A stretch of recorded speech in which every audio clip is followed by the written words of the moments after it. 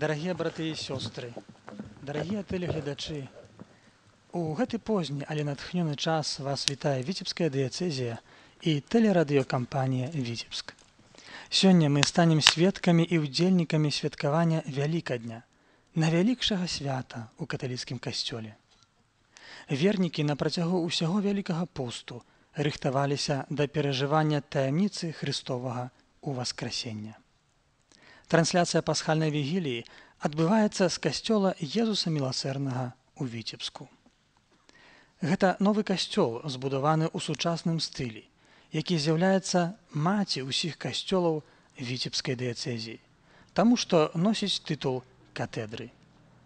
Менавіта тут моліцца за сваіх дыяцэзіянаў і кіруе віцебскай дыяцэзіяй біскуп Олег Буткевіч. Сёння ён таксама ўзначаліць святочную літургію. Сённяшняя літургія будзе складацца з некалькіх частак. На пачатку адбудзецца абрад святла. Ля касцёла будзе асвежаны агонь, ад якога затым заплымнее пасхал, велікодная свечка, сімвалізуючая воскрослага Хрыста. Мы ўжо бачым працэсію, якая вырушыла з касцёла і набліжаецца да вогнішча, якое распаленае на вуліцы. У касцёле навокал паўзмрок цёмна, згашана святло. Гэта сімвалізуе стан чалавецтва, якое прабывала перад прыходам Хрыста ў цемры граху. Праз хвіліну мы пачуем, як галоўны цэлебрант сённяшняй літургіі звернецца да прысутных з уступнымі словамі.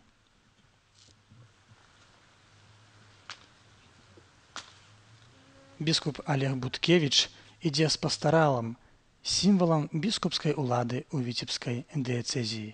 Ён адказвае за ўсю віцебскую дыяцэзію і моліцца за сваіх вернікаў. Як кіраўнік гэтай дыяцэзіі ён сёння будзе маліцца і асвячаць агонь, які сімвалізуе самого Езуса Хрыста, бо Бог ёсць святлом.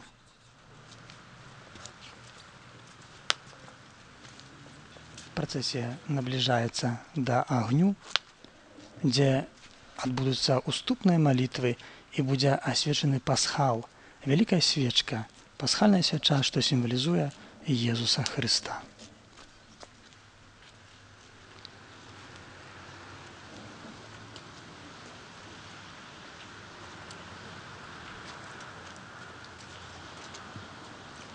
У імя Отця і Сина, і Духа Святого.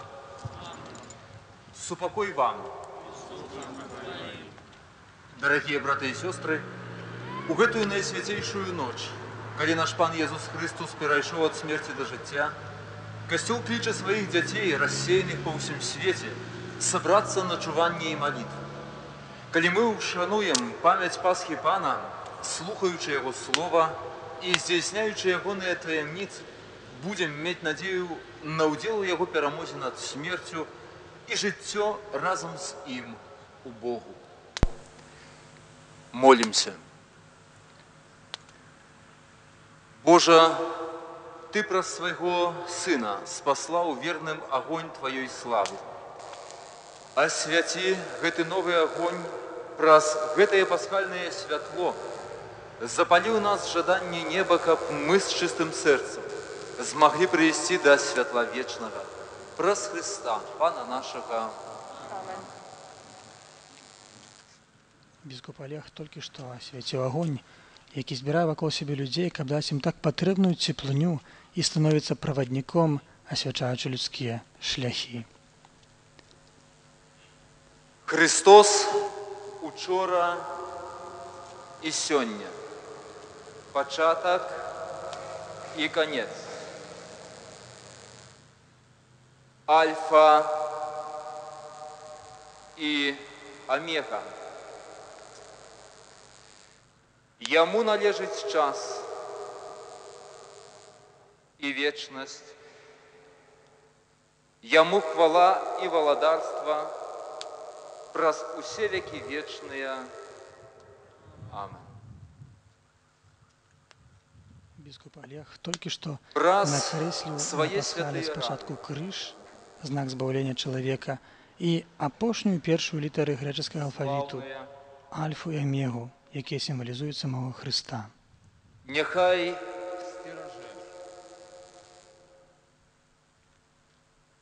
і ахоўвае нас Христус Пан. Амен. На пасхале змешчаныя цвікі чырвоныя, якія сімвалізуюць пяць крывавых ранаў Езуса на крыжы. І вось цяпер мы бачым, як запальваецца ад асвечанага вогнішча сам пасхал. Паламнеючая свечка гэта адзіная крыніца святла сярод пануючай зараз цемры. Менавіта Христус першы прайшоў праз браму смерці і стаў святлом, паказваючым адзіную праўдзівую дарогу. Нехай разгоніць цемру наших серцаў і думак.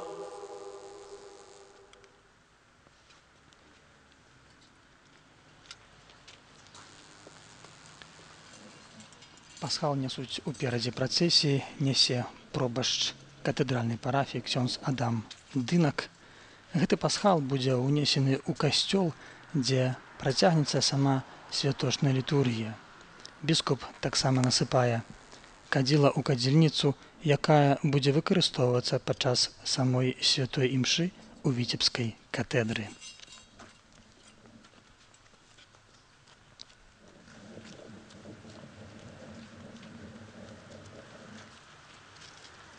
Духавенства разам з літургічнай службай накіроўваюцца да касцёла, а за імі пойдуць і ўсе вернікі, якія выйшлі вонкі з касцёла, каб прыняць удзел у гэтым набажэнстве асвячэння агню. На сходках перад самой катэдрай атрымае ад ужо запальнага пасхала агонь сам біскуп Олег Буткевіч.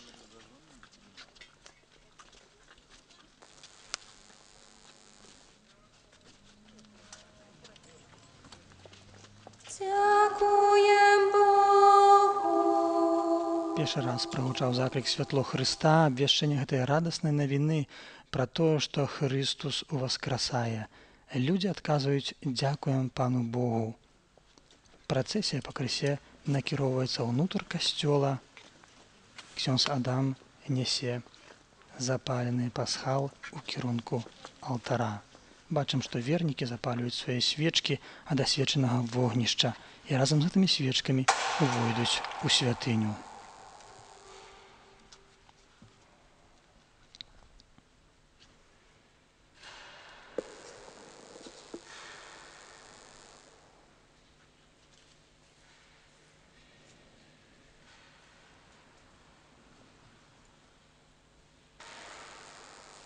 Światło Chrysta. Дзякуем Богу. Другі раз прагучаў заклік святло Хрыста. Вернікі адказалі дзякуем Богу і ад свечкі біскупа запальваюць прысутныя святары свае свечкі, дзелячыся святлом таксама з іншымі вернікамі. Бо Езус адзін прыйшоў да ўсіх. Ён хоча асвятліць жыццё кожнага чалавека. Хоча прагнаць цемру грахоў кожнага з нас. Адзінае, што патрабуецца прыняць гэтае святло.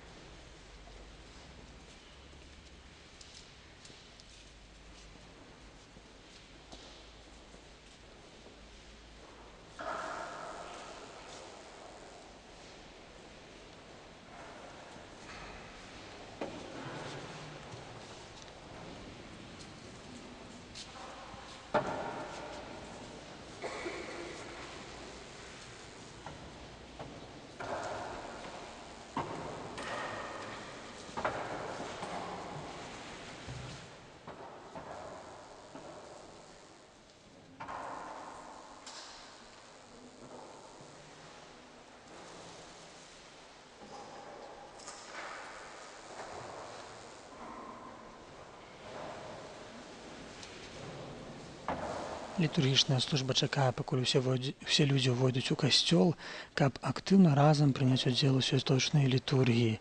Бачым, што ксёндз Адам, трымаючы пасхал у руках, чакае, пакуль вернікі збяруцца разам, каб адказаць трэці раз на ягоны заклік святло Хрыста.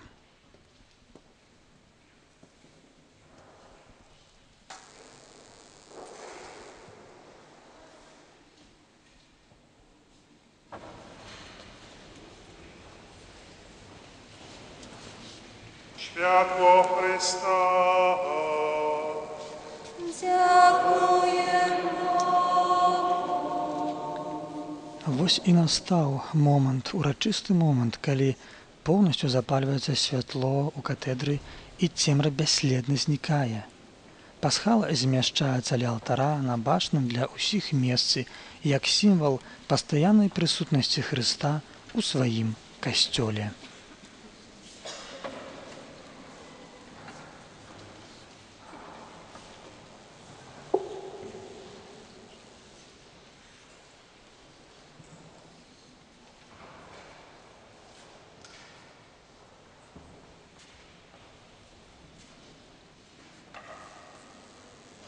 Праз некалькі хвілін наступіць наступная частка святочнай літургіі спеў экзультыта. І спецыяльнага гімна, які праслаўляе Езуса Хрыста, святло свету. У даўнія часы Бог вёў народ Ізраіля праз пустыню у кірунку зямлі абяцанай з дапамогай агню, у якой якім прысутнічаў сам. Мы ўсе ад моманту нашага хросту ідзём да нябеснай айчыны шляхам, які асвячае нам сваім навучаннем і прыкладам у васкрослы Хрыстус. Хто ідзе за ім, ніколі не застаецца ў цемры граху.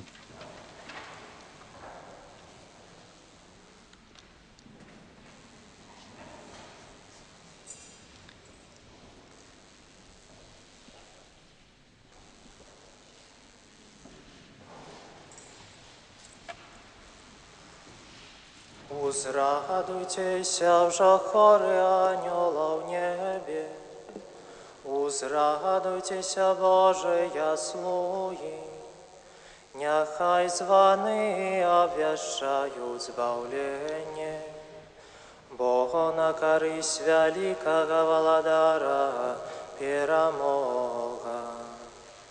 Веселися и земля, Опромененная взнеслым бляска, Бога святив Тебе промень с предвечного Володара. Целый свет нехая чує, что вызволився от темры. Узрадуйся, костеле наша Матерь, оздобленный зянем из Христа святла, и нехай гучным спевом наполнится гэтая святыня. Урачысты гімн экзультат спявае ксёнз Іван кароткім вікарый святар парафіі Езуса міласэрнага ў віцебску. У гору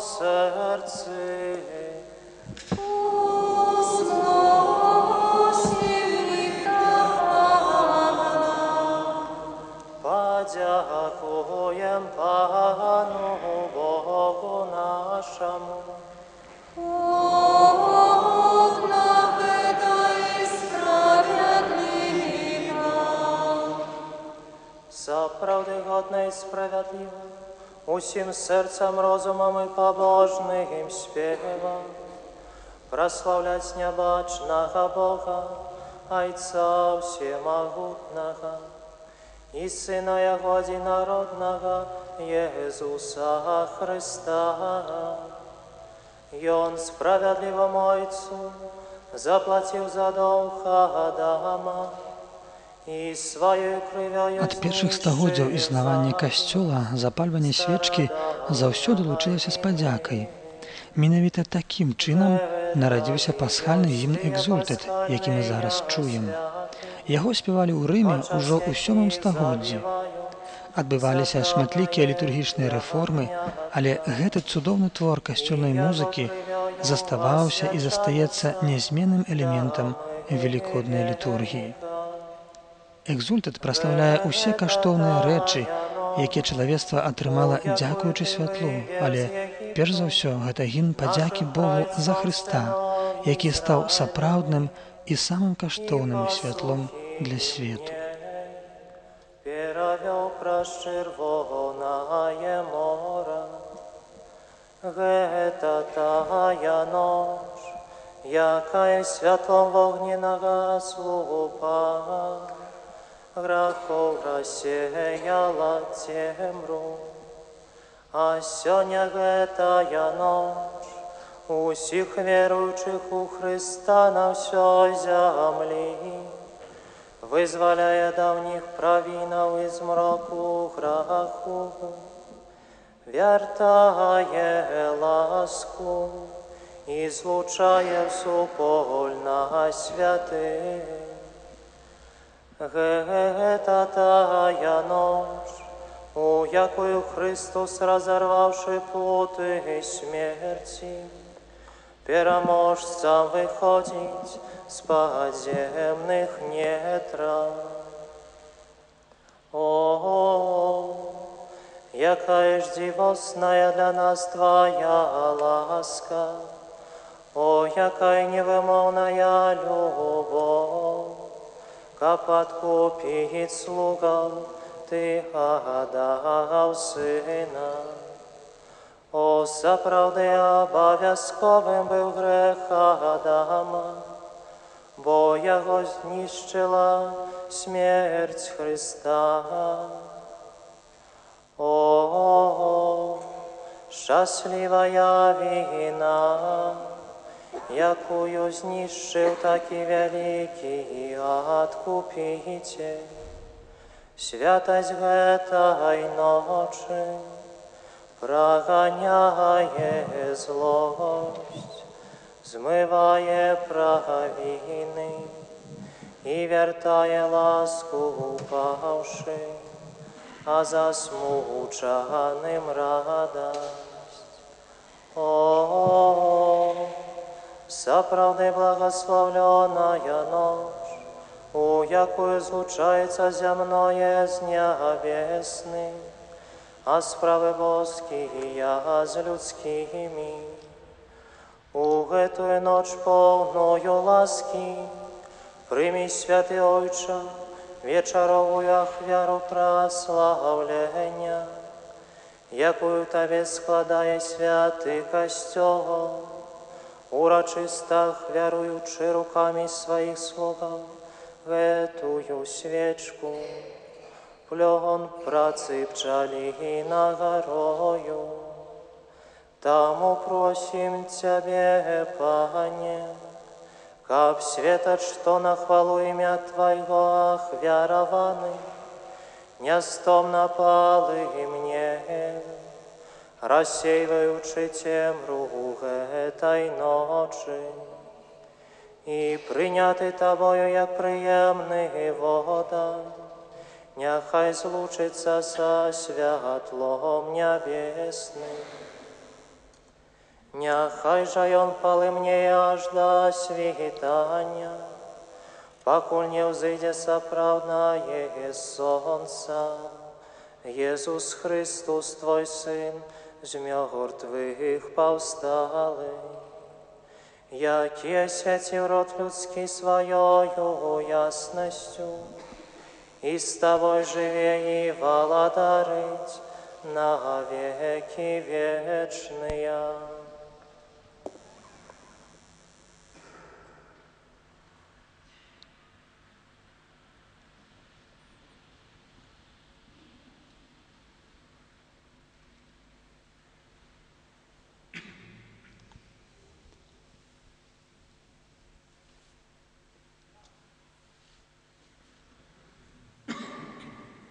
Цяпер распачнецца наступная частка пасхальнай вігіліі.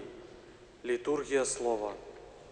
Падчас літургіі слова Мы чуем каментарый, які нагадвае нам, што пачынаецца другая частка пасхальнай вігіліі, літургія слова.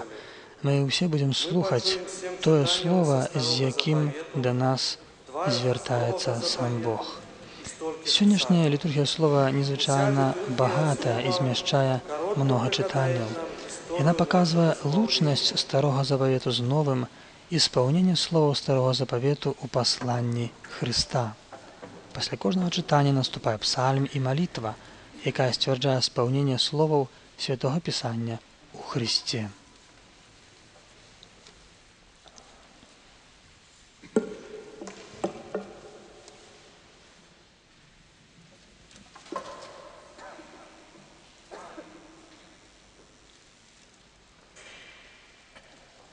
Пачатак першай кнігі святога пісання не столькі апісвае стварэнне свету, колькі распавядае аб Богу яго творцы. Гэта гімн праслаўляючы Бога, які з'яўляецца крыніцай жыцця і валадаром сусвету. Свет, створаны Богам, гэта цудоўны дар для кожнага чалавека. і нашага падабенства. Няхай пануе над рыбамі марскімі, над птаствам нябесным, над жывёламі, над усёю зямлёю і над усялякім паўзуном, што поўзнае па зямлі. І стварыў Бог чалавека паводле свайго вобразу, паводле Божага вобразу стварыў яго, стварыў мужчыну і жанчыну. І благаславіў іх Бог і сказаў ім: Пладзіцеся і размнажайцеся. Напаўняйце зямлю і валодайце ёю.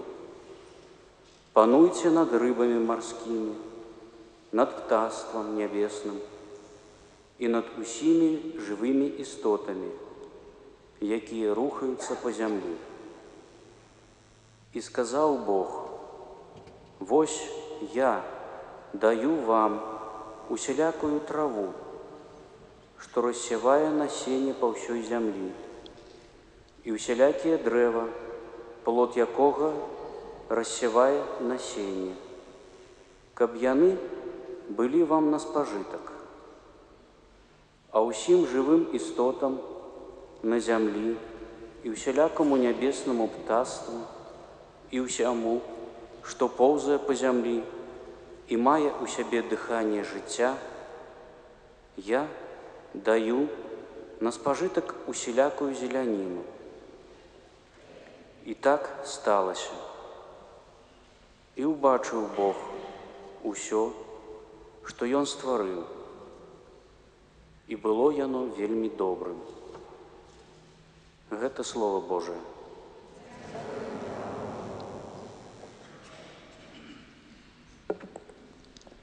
Няхай сыдзе дух твой і зямлю адновіць.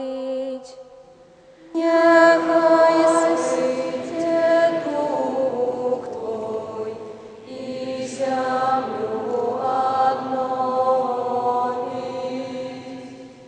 Благослови душа моя пана, Пане Боже мой, Ты вельмі вялікі, Ты апрануўся ў велічы красу, Ты ахінуўся святлом быццам шатай. Няхай сыдзе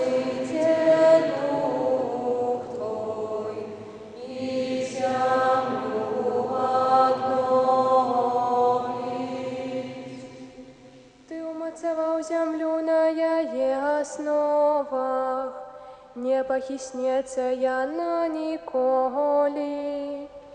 Безданню, як вопраткай пакрыў яе, Панад горамі узні- узніклі воды. Няхай сыдзе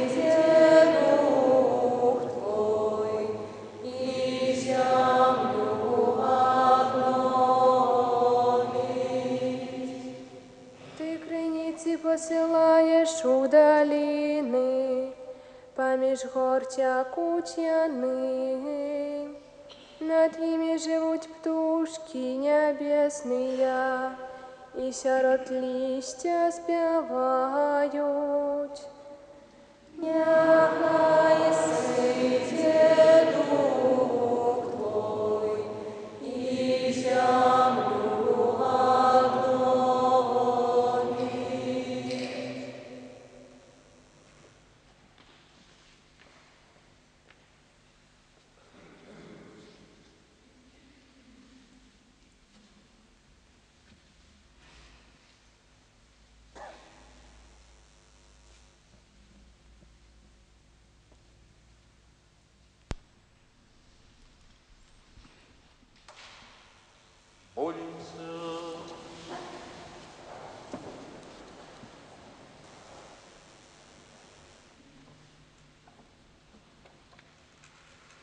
Всемогутный, вечный Боже, девосный Ты во всех Твоих справах, учеников откупленный Тобою народ зразумев, наколькі цудоўнай была справа стварэння на пачатку, і яшчэ цудоўнейшая справа адкуплення ў паўні часу, калі як пасхальнае ягнё быў ахвяраваны за нас Езус Христу, які жыве і валадарыць на векі вечныя.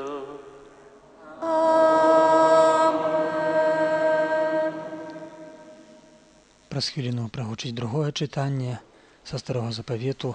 Бог паддаў выпрабаванням веру Абрагама, які даў прыклад моцнай даверлівасці стварыцелю, таму з'яўляецца ён айцом нашай веры.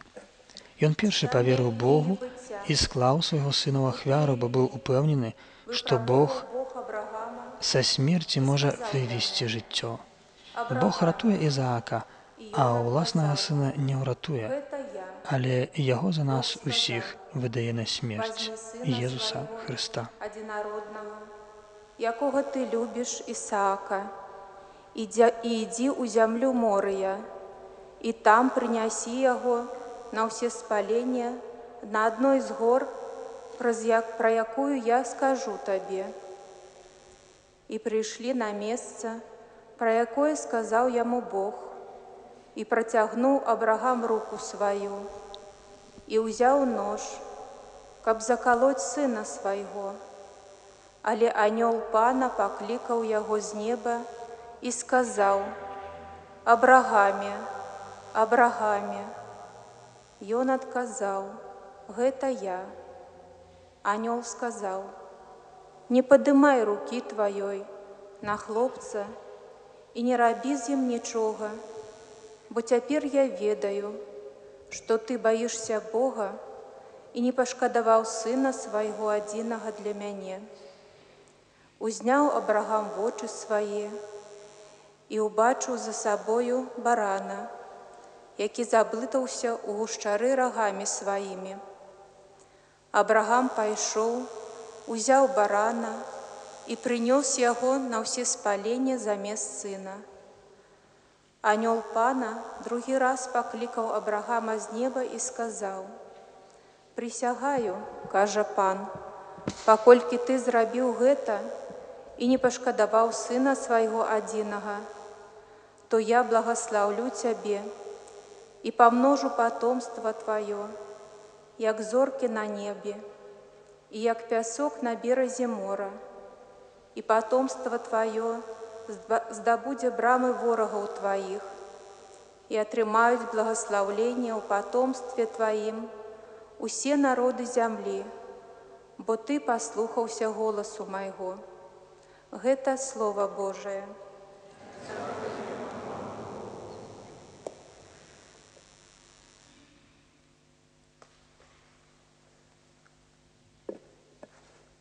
Захавай мяне Божа, бо на цябе спадзяюся.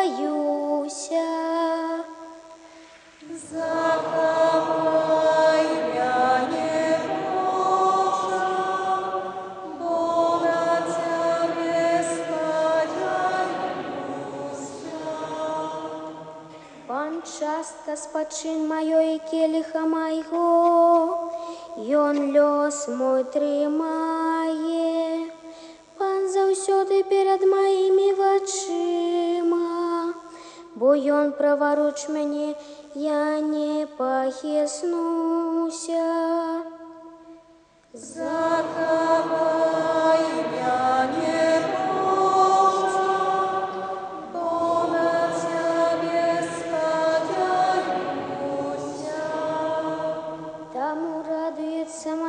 маё сэрца і веселіцца душа, і цела маё будзе спачываць бяспечна, бо не пакінеш душы маёй у адхлані і не дасі святому твайму убачыць тление. Захавай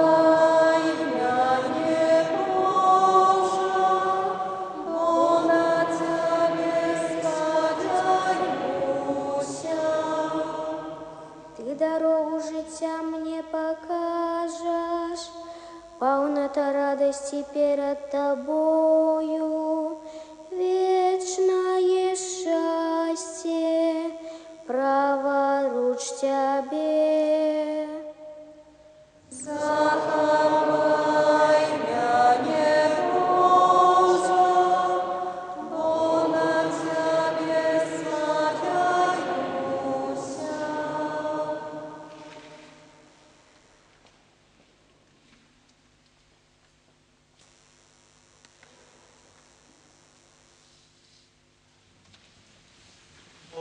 Молимся.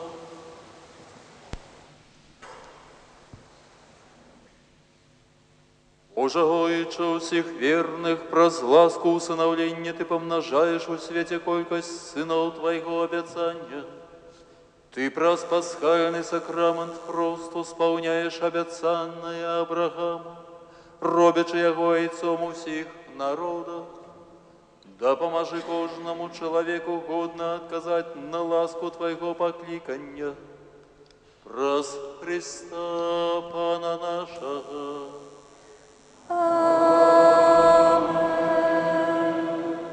Зараз прагучыць трэцяе чытанне са старога запавету, якое распавядае пра выхад з Егіпта выбранага народу.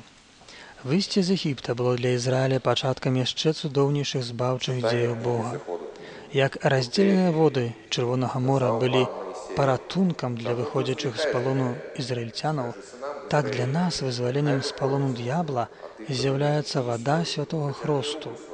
Майсеем новага Божага народу з'яўляецца ўваскрослы Христус, і ён вядзе свой народ да новай абяцанай зямлі, якой ёсць неба. І покажу славу маю на фараоне і ўсім войску ягоным, на калясніцах і вершніках ягоных. І даведаюцца егіпцяне, што я, пан, калі пакажу славу маю на фараоне і ўсім войску ягоным на калясніцах і вершніках ягоных.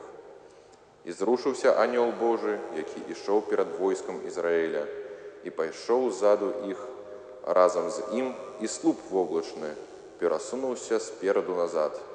Стаў паміж войскам егіпецкім і войскам ізраільскім, і была хмара цёмная для адных і асвятляла ноч другім так, што не маглі ўсю ноч падысці адзін да, адна, да аднаго. І калі Маісей працягнуў рук да мора, пан гнаў мора моцным усходнім ветрам усю ноч і ператварыў у сушу і, і разлілася вада. І пайшлі сыны Ізраіля праз сярэдзіну мора па сушы. Вода была для іх сцяною з правага і з левага боку. І пагналіся егіпцяне і ўвайшлі за імі ў сярэдзіну мора, уся конніца фараона, калясніцы і вершнікі ягоныя. І вось на світанні пан паглядзеў на войска егіпцян, са слупа вогненнага і воблачнага і прывёў у замяшанне войска іхняе. І падвярнуў колы калясніцаў, што іх цяжка было рухацца. І казалі егіпцяне: « Уцякайма ад Ізраіля, бо пан ваюе за іх супраць егіпцян. І сказаў пан Маісею: « Працягні руку сваю да мора, каб павярнуліся воды да егіпцян і калясніцы і вершнікаў іхніх. І калі Маісей працягнуў руку да мора, на самым світанні яно вярнулася на сваё месца. І бегла вода насустрач егіпцянам, якія уцякалі і патапіў іх пан сярод хваляў.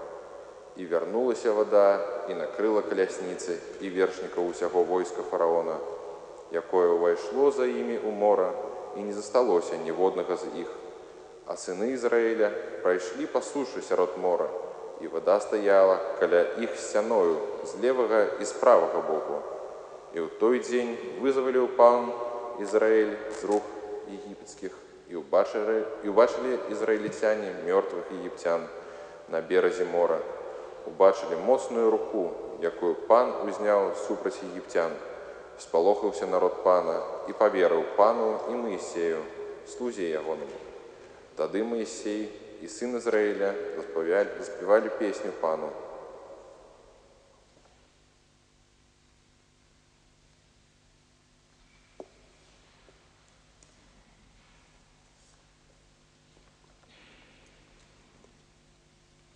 Спяваю пану, бо ён узвысіўся.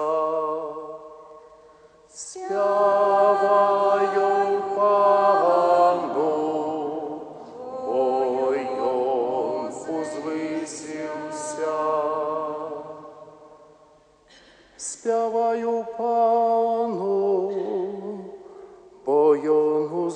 узвысіўся.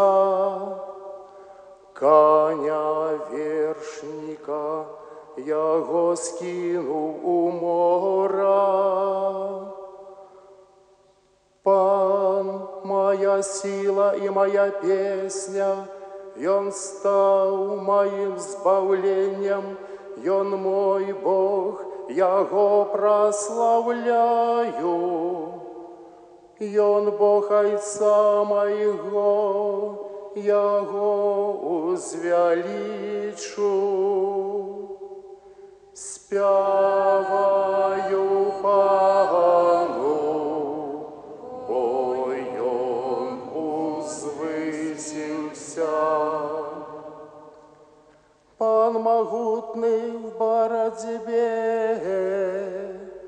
яго імя всемагутны. Калясніцы фараона і яго войска ён кінуў у мора. Лепшыя ваяры ягоныя патанулі у чырвоным моры. Спяваю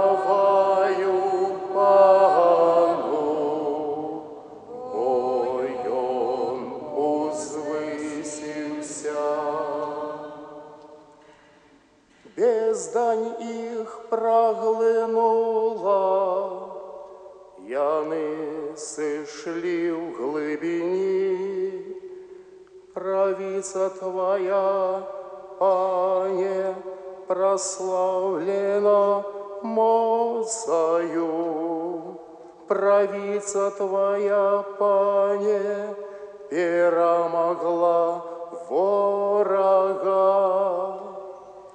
Спяваю пану, ой, ён узвысіўся.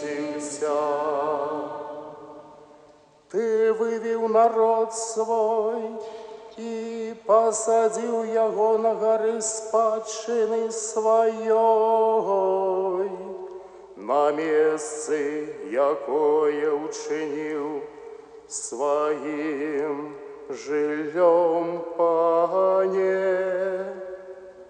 У святыні пана, якую звяли твои руки, пан Валадар навеки и назаўсёды.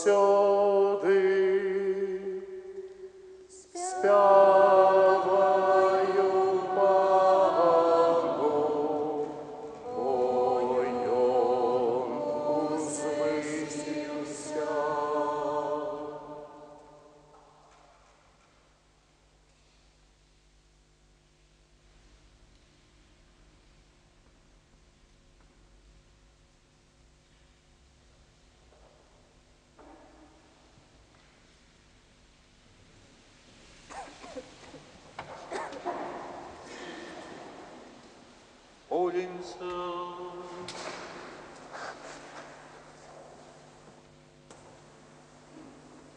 Уже и у наши часы зяют давние Твои цуды, Бо як раней Твоею моцею вызволил Ты один народ от переследу фараона, Гэтак цяпер праз воды хросту вядзеш усе народы да збаўлення. Учені, каб усе люди сталіся духовными детьми прайца Абрахама и досягнули годности обраного народа праз Христа Пана нашего. Зараз пачнецца чытанне чацвёртага чытання з кнігі старого запавету з кнігі прарока Ісаі. Ізраіль быў названы выбраным, таму што Бог заключыў з гэтым народам запавет на гары Сінай. Бог заўсёды верны сваім словам, свайму запавету. І ён ужо не адверне ад чалавека сваёй любові. Сваю вернасць і любоў ён паказаў у поўні праз Езуса Хрыста. Бо як жонку пакінутую і засмучаную духам кліча цябе пан. І як да жонкі, адрынутую маладосці, звяртаецца да цябе твой Бог. На малы час я пакінуў цябе, але з вялікай міласцю прыму цябе. У прыступе гневу я схаваў ад цябе на хвіліну аблічча маё, але ў вечнай міласэрнасці злітуюся над табою, кажа пан, адкупіцель твой. Бо для мяне гэта як воды ноя, калі прысягну я, што воды ноя не прыйдуць больш на зямлю. Так прысягну я, што не буду гневацца на цябе і дакараць цябе не буду. Бо горы знікнуць і пагоркі захістаюцца, але міласэрнасць мая не адступіць ад цябе. І запавет спакою майго не пахіснецца, кажа пан, які спагадае табе. Няшчасная, несуцешная, якую кідаюць буры. Вось я пакладу твае падставы на рубінах і падмурак твой на сапфірах. Я ж маё аздоблю твае вежы, упрыгожу крышталём твае брамы, усю агароджу тваю каштоўнымі камянямі. Усе сыны твае будуць вучыцца ў пана, і поспех сыноў тваіх будзе вялікі. На справядлівасці будзе твой моцны падмурак. Ты пазбудзешся ў ціску, бо не будзеш баяцца. Пазбудзешся жаху, бо ён не падыдзе да цябе. Гэта слова Божае.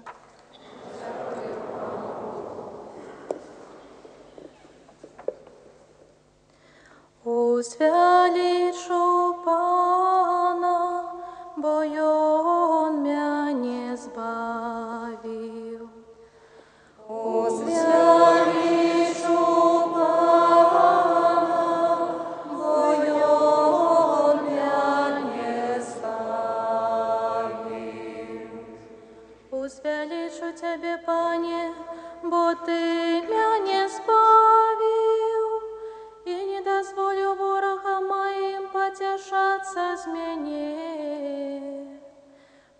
Пане, Ты вывеў з адхлані душу маю, Ты ўратаваў жыццё маё сярод тых, хто сыходзіць у магілу. Узвялічу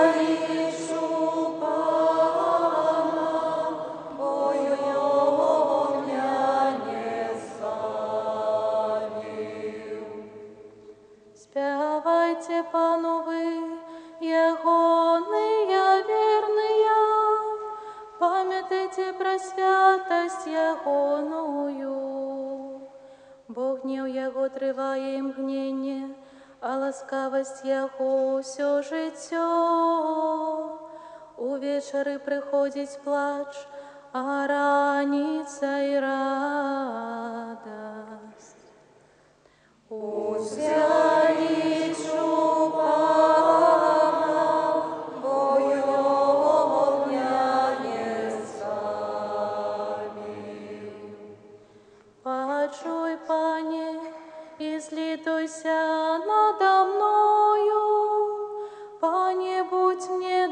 дапамогай.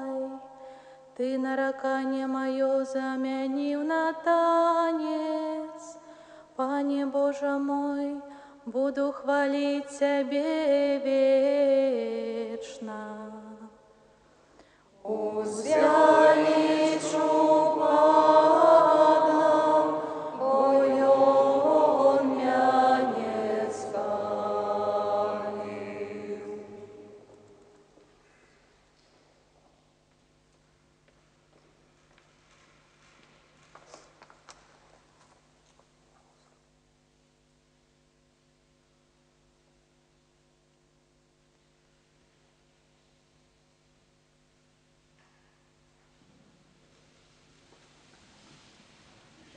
Молимся.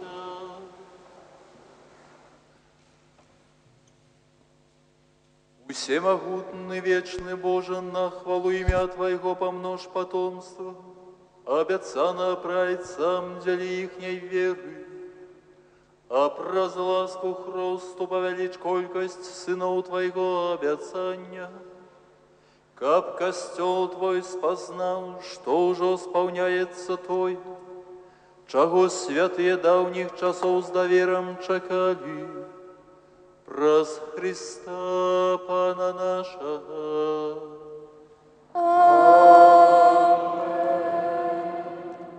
Наступае пятае чытанне старого запавету таксама з кнігі пророка Ісаі. Прароцтва Ісаі ёсць адным з найбольш выразных у старым запавеце. Касцёл бачыць у гэтым прароцтве абяцанне сакраманту хросту і аўхарыстыі, якія з'яўляюцца вечным запаветам Бога з адкупленым народам. Так кажа пан.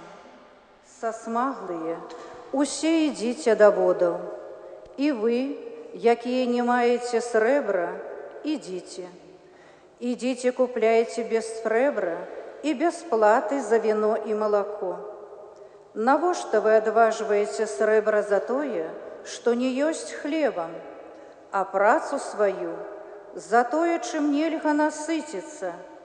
Слухайце уважліва мяне і спажывайце добро. І няхай душа вашая нацешыцца тукам. Схіліце вуха сваё і прыйдзіце да мяне. Паслухайце, і жыць будзе душа ваша. І дам запавет вечны, нязменныя ласкі для Давіда. Вось я ўчыніў яго для народаў сведкам, правадыром і настаўнікам для народаў. Вось ты паклічаш народ, якога не ведаў, і народы, якія не ведалі цябе, пабягуць да цябе, дзеля пана Бога твайго і святого Ізраіля, бо ён уславіў цябе. Шукайце пана, пакуль, пакуль ён дазваляе знайсці сябе. Клічце яго, пакуль ён блізка. Няхай бязбожны пакіне шлях свой, а чалавек беззаконны свае намеры. Няхай вернецца да пана, і ён змілуецца над ім, да Бога нашага, бо ён шчодры на прабачэнне. Бо мае думкі гэта не вашыя думкі, і вашыя шляхі не мае шляхі, кажа пан. Бо як нябёсы ўзвышаюцца над зямлёю, так шляхі мае над шляхамі вашымі, і думкі мае над думкамі вашымі. Падобна як дождь і снег падае з неба і туды не вяртаецца, але поіць зямлю і робіць яе урадлівай. І яна родзіць і прыносіць плён сейбіту і хлеб для таго, хто ёсць есть. Так і слова маё, якое выходзіць з вуснаў маіх, не вернецца да мяне без плёну, пакуль не споўніць тое, што я хацеў, і з поспехам дасягне таго, дзеля чаго я паслаў яго. Гэта слово Божае.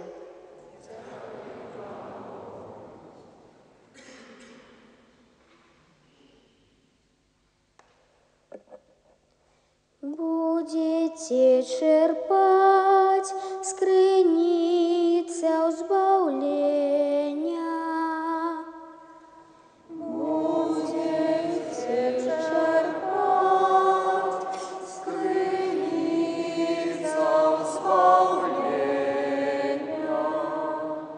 Вось Бог мой, мое избавление, на Яго спадзяюсь і баяцца не буду.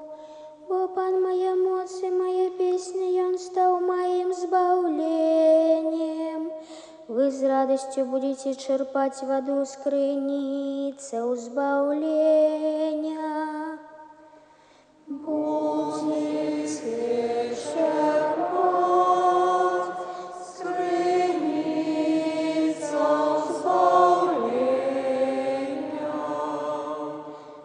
Прославляйте Пана, закликайте имя Ягонае, и вешайте сярод народу справы Яго. Нагадывайте, что узнеслое имя Ягонае.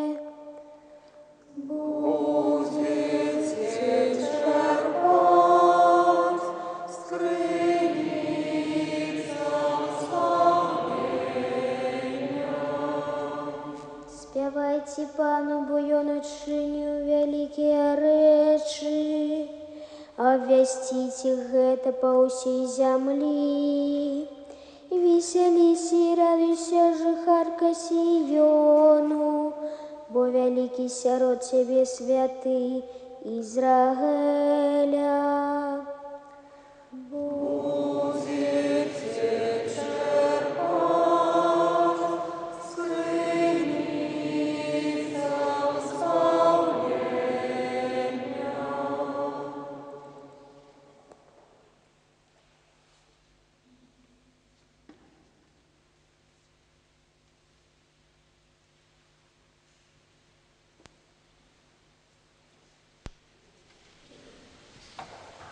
Молимся.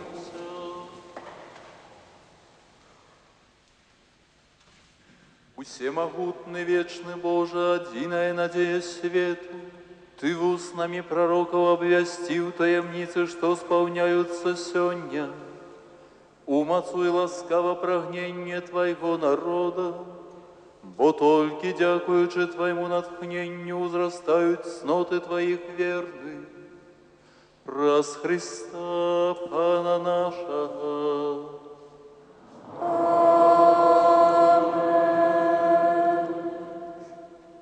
Шостае чытанне старого запавету з кнігі Баруха. Пророцтво Баруха показывае Божую мудрасць, которая трывае вечна. Асабістая мудрасць Бога і Езус Христус. У поўні дадзена сярод нас засталася таксама. Жыць паводле Божай мудрасці азначае захоўваць запаведзі, ісці следам за Христом, ісці за ім у бляску пасхальнага святла. Змарнеў ты ў чужой зямлі, лічаць цябе паганеным, як мёртвых. Ты залічаны да тых, хто сыходзіць у адхлань. Ты пакінуў крыніцу мудрасці.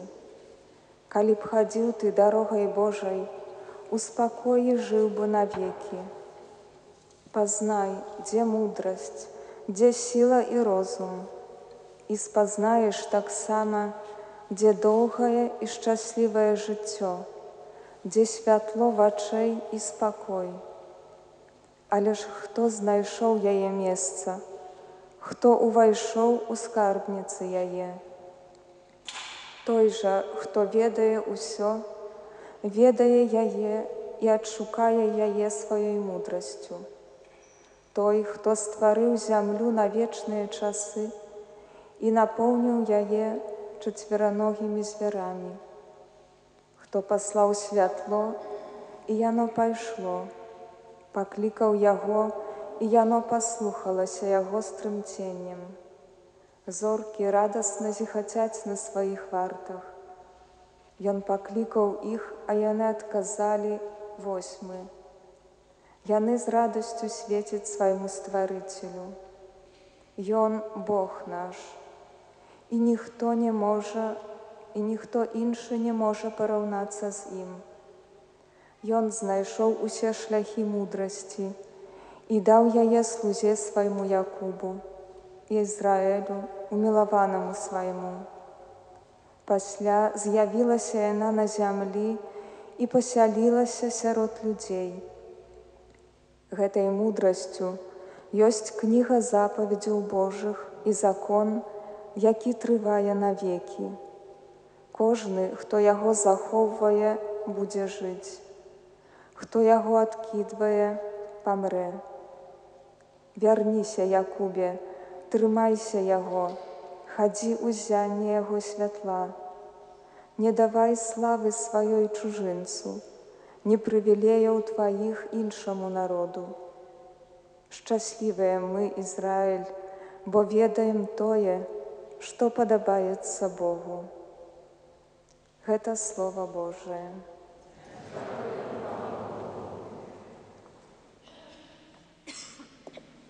Пане, ты маеш словы вечнага жыцця. Пане, ты маеш словы вечнага жыцця.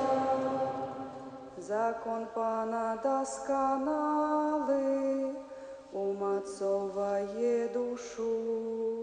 Сведчанне Пана вернае, яно дае мудрасць простым. Пане, ты маеш словы вечнага жыцця. Загады Пана справядлівыя і радуюць сэрца. Наказ Пана ясны просвятляе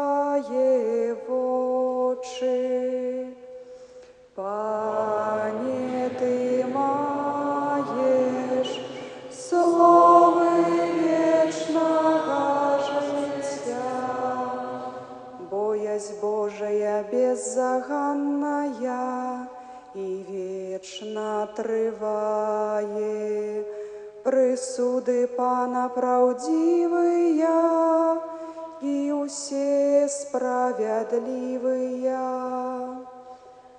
Пане, ты маеш словы вечнага жыцця, больш каштоўныя, чым золата, чым мноцтва чыстага золата і саладзейшыя за мёд і сок сотавы.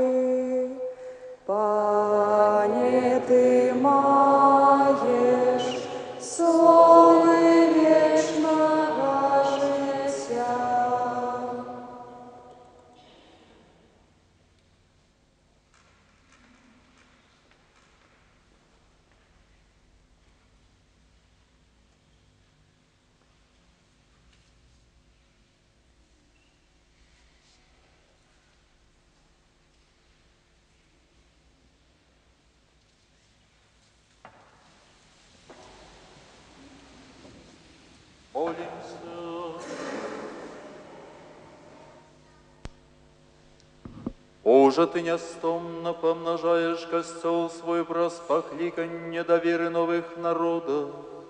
Учини ласкаво каб тых, кого ты обмыл водою просту.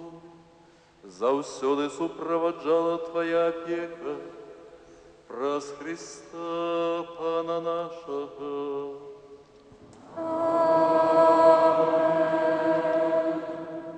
Наступае момант чытання сёмага чытання старого запавету. Пророк Эзахель прадказвае аднаўленне чалавечага жыцця і сабранне раскіданых. Для гэтага патрэбнае навяртанне і глыбокае духоўнае аднаўленне.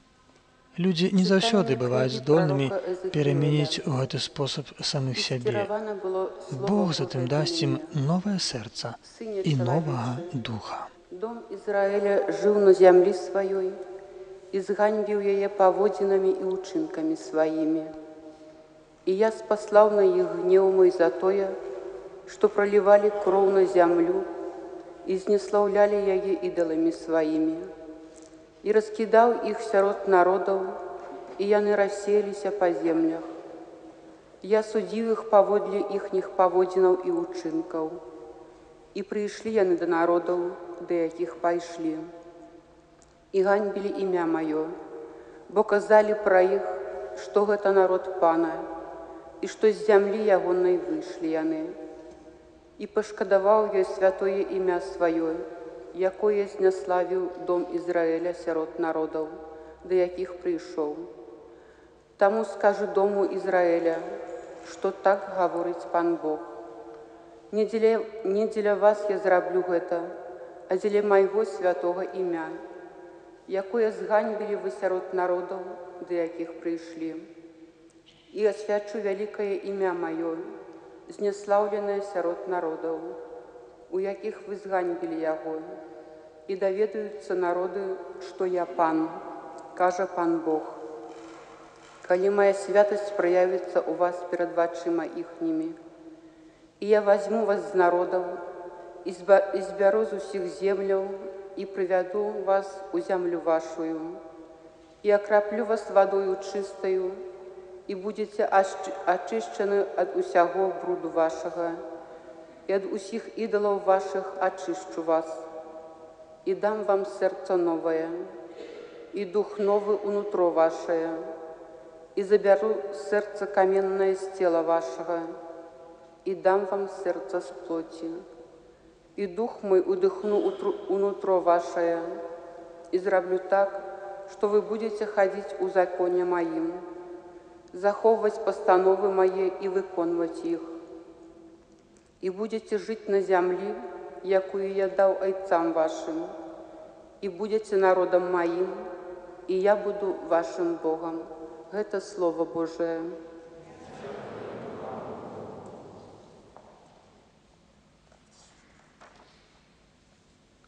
Душа моя Божа,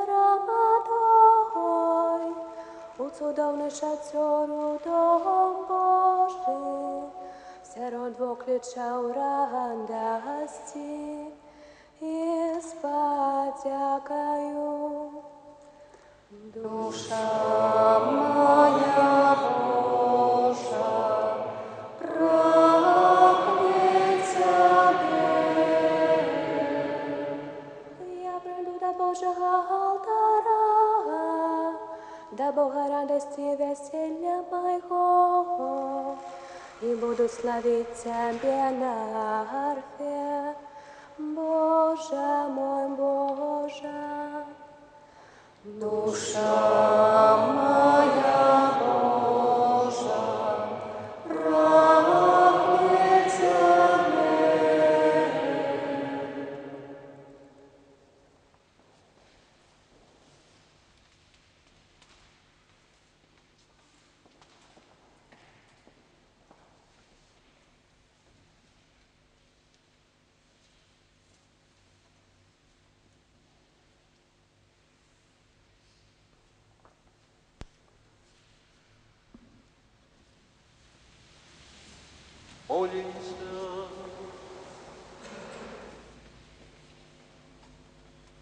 Уже неизменное, моц вечное светло, глянь ласкаво на весь костел святых, и здесь, сняючи одвечный намер Твою супокой, исполняй справу человечего збавления. Нехай увесь свет спознае и убачить, что Ты зруйнованное подымаешь, состарелое обновляешь и все вертаешь до першопочатковой целостности. Праз Христа, ад якого все взяло початок, які живі володарить на веки вечные.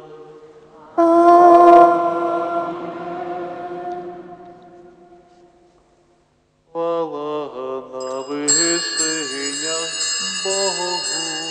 Наступае радасны гімн хвала на вышынях Богу, Глорія.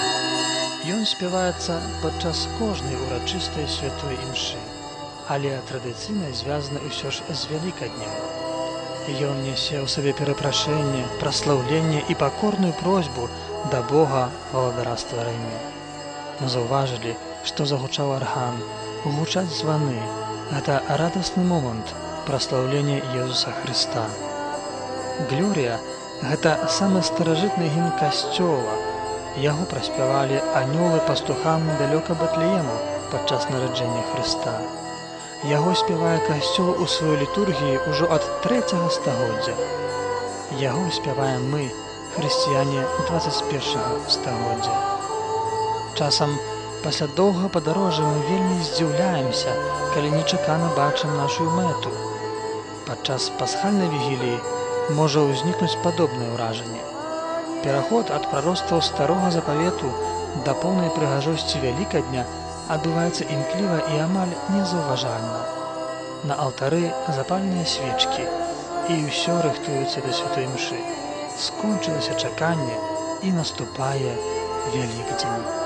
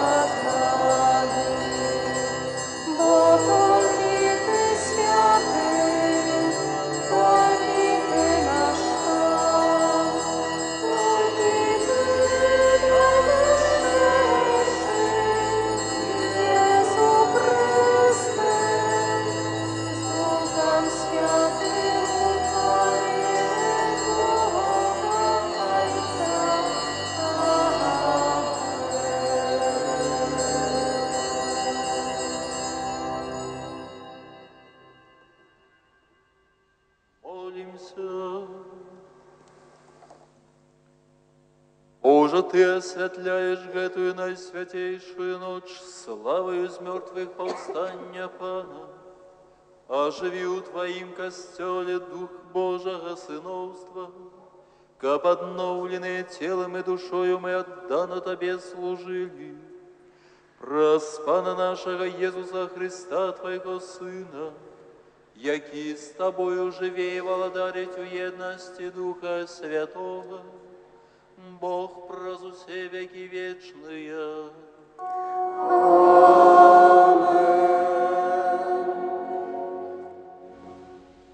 Урачысты спеў Глорыя быў пераходам са старога ў новы запавет. Абяцанні спаўняюцца. Апостол Павел у пасланні да рымлянаў нагадвае, што пасхальная таямніца рэалізуецца ў кожным з нас праз хрост. Наша жыццё павінна быць напоўнена верай і адданасцю Богу. Дык вось, мы пахаваныя з ім хрышчэннем у смерць, каб як Христус уваскрос з мёртвых дзеля славы Айца, так і нам хадзіць у абноўленым жыцці. Бо калі мы паяднаны з ім падабенствам смерці ягонай, то павінны быць паяднаныя і падабенствам у васкрасення, ведаючы, што былы наш чалавек, укрыжаваны з ім для таго, каб было знішчана грэшнае цела, каб нам не быць ужо нявольнікамі граху, бо той, хто памёр, вызваліўся ад граху. Калі ж мы памерлі з Христом, то верым, што і жыць будзем з ім. Ведаючы, што Христус, уваскросшы з мёртвых, ужо не памірае. Смерць ужо не мае над ім улады, бо тое, што ён памёр, дык памёр раз і назаўсёды для граху. А што жыве, дык жыве дзеля Бога. Так і вы лічыце сябе мёртвымі для граху, а жывымі для Бога у Христе Езусе. Гэта Слово Божае. Дзякуем вам Богу. Аллилуйя, аллилуйя. Гучыць урачыстая аллелюя. Гэта спеў поўны радасці, пашаны і ўзрушення вяртаецца пасля доўгага часу вялікага посту, падчас якога ён павінен замаўчаць. Ніводны заклік не звязаны настолькі з вялікаднем, як гэтае простае габрэйскае слова аллелюя, што азначае праслаўляйце пана. Bo on dobry, bo na wieki miłosierność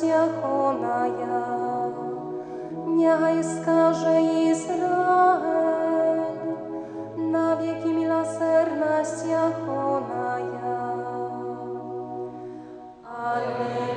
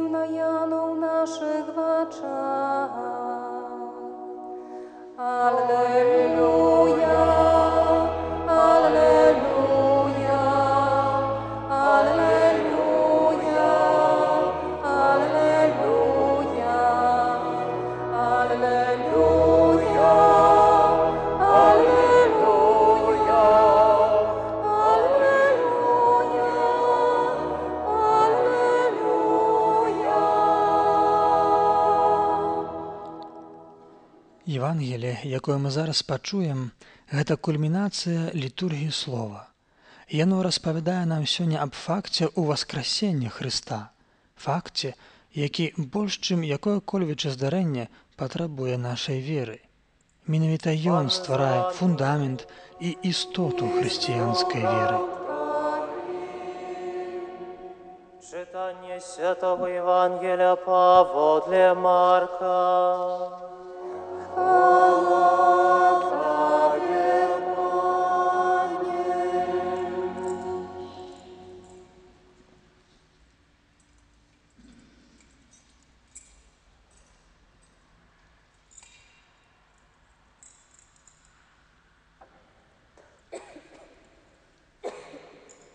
Калі мінула субота, Марія Магдалена і Марія Якубова і Саламея купілі пахучыя алеі, каб пайсці намасціць Езуса.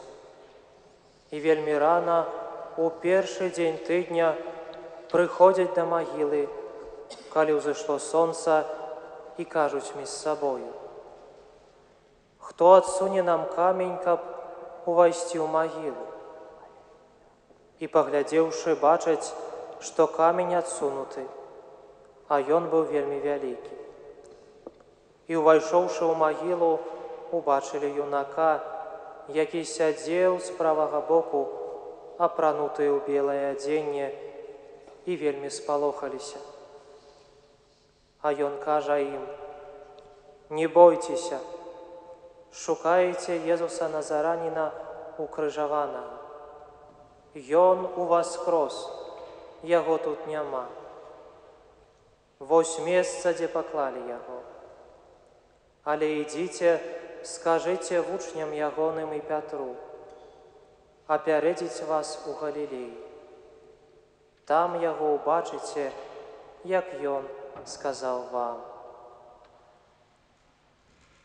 Гэта слова Пана.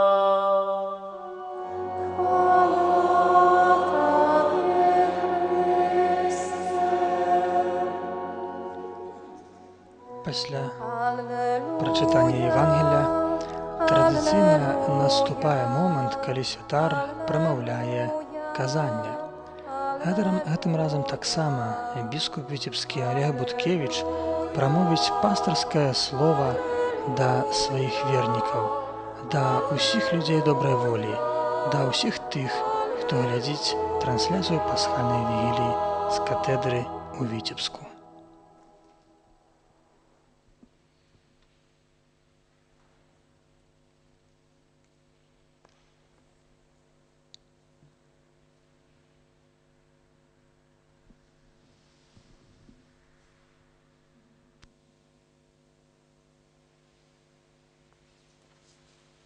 Присядьте, коли ласка.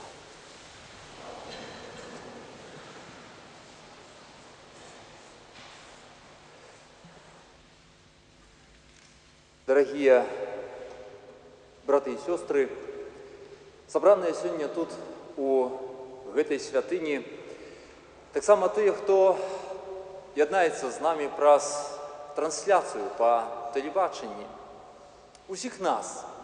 Сёння яднае гэтая вялікая таямніца.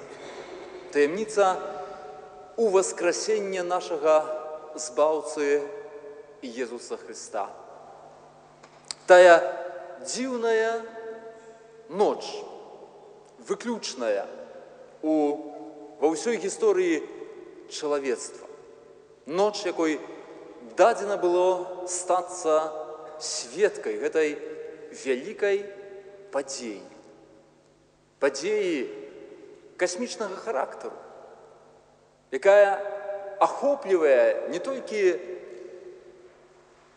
межы зямныя, падзея, якая яднае справы духоўныя і справы справы зямныя, справы людскія. Чаму менавіта ноч? Калі паглядзім на гісторыю нашага збаўлення, Бог вельмі часта прыходзіць, здзяйсняе свае вялікія справы менавіта ўначы. Асабліва, калі гэта датычыцца выратавання чалавека. Чым ёсць ноч? Ведаем, з нашага досведу вельмі часта называюць яе, параўноўваюць са злом. Ноч альбо цемра граху і смерці. Ноч ёсць сімвалам усялякага зла. І менавіта каб рассвятліць, менавіта каб гэтая ноч перамянілася ў ясны дзень. Бог вось гэты знак перамагае. Перамагае самім сабой, перамагае тым святлом, якое зазяла чалавеку праз між іншым гэты цуд у васкрасенні. Памятаем яшчэ адну ноч, якая была апрамененая бляскам віфлеемскай зоркі, калі у гэтым свеце нарадзіўся Христос. І сёння мы з вами збіраемся, каб наноў адчуць, каб наноў свае сэрцы раз'ясніць гэтым Божым святлом у васкрасенні. Столькі людзей разважала над гэтай таямніцай. Столькі знакаў і сімвалаў, якія спадарожнічалі і спадарожнічаюць гэтай падзеі. Васкрасенне, якое з'яўляецца часткай таго, што называем пасхай, гэтага свята, якое было, як ведаем, дадзена абранаму народу, было дадзена перажыць, аб чым сёння з вами таксама чулі ў чытанні, гэтае выйсце з няволі егіпецкай. Гэта быў той момант, калі упершыню прагучала гэтае, гэтае слово, якому было нададзена э, э, ранг свята. І вось маем у нашым жыцці працяг гэтай падзеі. Падзея, якую перажыў сам Езус Христус, паміраючы на крыжы, ахвяруючы самога сябе за увесь чалавечы род і вяртаючыся да жыцця. На працягу вяліка э, пасхальнага трыду мы з вами разважалі над гэтымі справамі. Разважалі таямніцу станаўлення Еўхарыстыі, У вялікую пятніцу схіляліся перад таямніцай крыжа Езуса Христа, ушановуючы гэты знак, у якім мы маем збаўленне. І сёння стаім перад уваскрасеннем Христа. Памятаем вучням, якім Езус Христус неаднойчы нагадаваў пра тое, што мае ўваскрэснуць, гэта была вельмі цяжкая задача, каб усвядоміць і зразумець, што, што гэта такое. Баяліся нават спытацца ў Езуса Христа. Штосьці нечуванае. І, напэўна, недалёка адышліся ад іх мы з вами. Чым ёсць у васкрасенні? І для нас сёння гэта пытанне. Мы знаходзім толькі сведчанне, абапіраем нашу веру на сведчанне тых, хто бачыў. Тых, як кажа нам святое пісанне, хто датыкаў таго, хто вярнуўся з таго свету. Сёння можам пачуць гэтае пытанне. Як можна паверыць, калі адтуль ніхто не вяртаўся? Адказам хрысціяніна ёсць сцверджанне гэтай праўды, што адтуль вярнуўся Христос. Вярнуўся і даў таму сведчанне. Апосталы, на якіх на веры якіх, на сведчанне якіх мы абапіраем нашу з вами веру. Але што вельмі важна, гэтая падзея яна не толькі адбылася дзесьці ў гісторыі. Як ужо з вами ўзгадалі, яна мае касмічны характар. Яна мае пераадолевае не толькі межы матэрыяльныя, але межы часу. І мы таксама маем да яе дачыненні. Якім чынам? Ёсць две рэчы, якія яднаюць нас з гэтай падзеяй. Першая гэта вера. Вера, якую маем праз менавіта хрост. І вось той хрост, які калісьці абмыў нас праз ачышчэнне, абмыў вадою, ён даў нам зачатак гэтай веры. Сёння мы тут, бо нас у гэтае месца вядзе вера ва мёртвых паўсталага Хрыста. І менавіта таму пасхальная вігілія заўсёды уключае у свой э, рыт абрад хросту. Звычайна гэта адбываецца. І сёння гэта той момант, калі мы павінны сабе чарговы раз усвядоміць, чым ёсць для нас гэты знак, знак нашага збаўлення. Памятаем, магчыма, не мы самі, бо калі нас ахрысцілі ў дзяцінстве, пэўна сведкамі таму былі нашыя бацькі хросныя. Гэтаму знаку гэтай таямніцы спадарожнічалі чатыры знакі. Гэта была вада, быў алей, было белае адзенне і была запаленая свечка. Найбольш, напэўна, багаты ў сімволіку гэта знак вады. І сёння ў чытаннях мы таксама чулі пра гэты знак. Знак той стыхіі, якая на самом пачатку была спасланая Богам, каб знішчыць неправасць чалавека, яго грахоўнасць. У гісторыі абранага народа гэта быў знак, праз які Бог знішчыў небяспеку, якая пагражала абранаму народу. Воды чырвонага мора па сухім дне, дзякуючы Божаму цуду, якога яны прайшлі. Наступны сімвал, які ўключае ў сябе гэты знак, гэта воды Іордану, асвечаныя ўжо нашым збаўцам Езусам Христом. Ну і нарэшце тая вада, якая выплыла з боку Хрыста, памёршага на крыжы, калі ён быў прабіты дзідай жаўнера. І вось мы, калі сёння ўжо, вядома, будучы ахрышчанымі, дакранаемся да гэтага знаку, уваходзячы ў касцёл, у гэты дзень у суботні, калі асвячалі велікодныя стравы, калі ў нядзелю атрымліваем пакрапленне асвечанай вадой, гэта той знак, які уключае і нясе ў сабе гэтую сімволіку. І знак, які павінен прыгадаць нам нашу годнасць, то якім мы для Бога з'яўляемся. А гэта ўжо нагадваюць вось тыя тры знакі астатнія, якія спадарожнічалі нашаму хросту знак алею, праз які мы атрымалі дар духа святога і праз які сталіся Божымі дзецьмі. Гэта сын мой або дачка, умілаваны, у якім я упадабаў. Тыя словы, якія прагучалі ў часе хросту Хрыста, яны гучалі таксама і над кожным з нас. Бо кожнага з нас Бог праз ахвяру Христа, праз хрост прымае як сваё усыноўленае дзіцё. Але дзіцё Божае не можа быць брудным. Нішто нечыстае не ўвойдзе ў Божае валадарства, кажа нам святое пісанне і таму чарговым знакам пры хросце ёсць белае адзенне.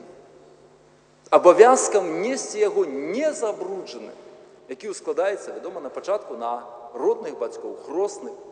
Але пазней гэта абавязак кожнага ахрышчанага чалавека ўжо свой асабісты перад Богом. Бо гэта ёсць тое адзенне, у якім мы маем стаць перад Христом на яго вяселлі, на якое нас запросіць у сваім валадарстве. І каб калісьці мы не пачулі тых словаў, скіраваных да таго чалавека з прыповесці Езуса Хрыста, сябра, чаму ты ўвайшоў сюды не ў вясельнай вопратцы. Гэта азначае у нячысты. І таму гэты час вялікага посту, які ўжо застаўся па-за намі, час велікодны ёсць той магчымасцю, той нагодай, каб мы задумаліся над чысцінёй гэтай нашай вопраткі, над чысцінёй нашай душы, якая павінна яснець славаю Езуса Христа, славаю, якою яна яснела ў хвіліне нашых хросту. Ну і нарэшце свечка, якую і сёння таксама з вами трываем, трымаем у нашых руках на знак нашай прыналежнасці да Христа.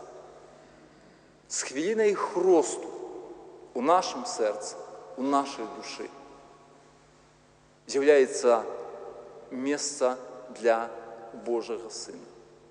І мы з вами становімся ягонай часткай. І таксама, як гэта гучыць падчас абраду хросту, падтрымліваць гэтае святло.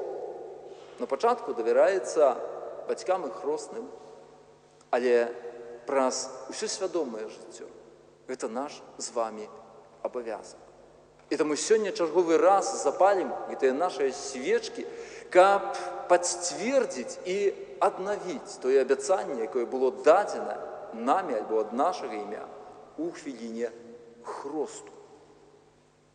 Абяцанне прыналежыць да збаўца, прыналежыць да уваскрослага і прысутнага сярод нас і Езуса Христа. Але можам спытацца, да чаго гэта павінна нас прывесці. Чаму так вялікую увагу на гэта звяртае нам касцёл, перадусім святое пісанне, мэтай нашай веры. Ёсць з'яўляюцца словы, на якія ў свой час звярнуў увагу папа Бенедык 16, разважаючы над гэтай тэмай, што мэтай жыцця хрысціяніна павінна быць тая, якую абраў сабе ў свой час і якой дасягнуў святы апостол Павел. А в чым чытаем яго пасланне да галатаў. Жыву ўжо не я, але жыве ва мне Христос. І гэта ёсць наша мэта. Гэта не азначае, што я знікаю. Я набіраю асаблівую сутнасць. І гэтую сутнасць мы атрымліваем ужо праз хрост, калі выходзім па-за межы толькі нашага асабістага я. Мы становімся часткаю Хрыста, а практычна мы становімся часткаю касцёла. І сёння мы з вами утвараем вось тую цудоўную таямнічую еднасць дзе двух альбо трох збіраецца ў імя маё там я ёсць сярод іх кажа пан і сёння гэтага уваскрослага збаўца мы вітаем не толькі у слове не толькі ў сакраменце эўхарысты ён ёсць сярод нас і напэўна балюча Христу з таго што хтосьці мог сёння быць тут а не з'явіўся Магчыма дзесьці забыўшы альбо не ўсведамляючы да канца тое, чым ёсць маё хрысціянство. Христос чакае на нашу свядомасць. Ён дапамагае нам сваёй ласкай, сваім натхненнем абудзіць у сабе вось гэтую веру, што я ўжо не прыналежу сабе. Праз ахвяру, якую здзейсніў збаўца на крыжы, я ўжо Божая ўласнасць. І адсюль вынікае таксама моя годнасць. Бо годнасць чалавека ў тым, што за яго аддаў жыццё сам Бог, які стаўся чалавекам. І таму мы не можам з пагадай адносіцца да тых, хто нават ужо не кажам пра тое, што мы былі створаны на вобраз і Божае падабенства. Нашым абавязкам ёсць шанаваць гэты вобраз, свой асабісты і вобраз другога чалавека. Можам гэта здзейсніць толькі кіруючыся нашай верай, якая абапіраецца на Божую мудрасць. Сёння ў кнізе Баруха мы чулі гэтыя словы. Той, хто кіруецца Божай мудрасцю, спазнае супакой. А гэтага супакою сёння, напэўна, кожны з нас шукае. Гэтага супакою сёння патрабуе свет. І калі яго няма, то толькі па той прычыне, што не шукае чалавек у жыцці у гэтай Божай мудрасці. Так, можам да веры адносіцца па-рознаму. Можам закрываць на гэта вочы, казаць, што мяне гэта не датычыцца, шукаць нейкіх навуковых аргументаў, якія не могуць нам абгрунтаваць нашай веры. Але ёсць яшчэ адзін крытэрый, паводле якога можам ацаніць каштоўнасць нашай веры. Езус кажа, дрэва пазнаецца па яго пладах. І напэўна, мы гэта вельмі добра, калі не разумеем, то вычуваем, дзе ёсць вера, дзе ёсць паслухмянасць Божым законам. Там ёсць і вось той супакой, аб якім кажа нам Езус Христус. Супакой, з якім прыходзіць да сваіх вучняў, да сваіх апосталаў.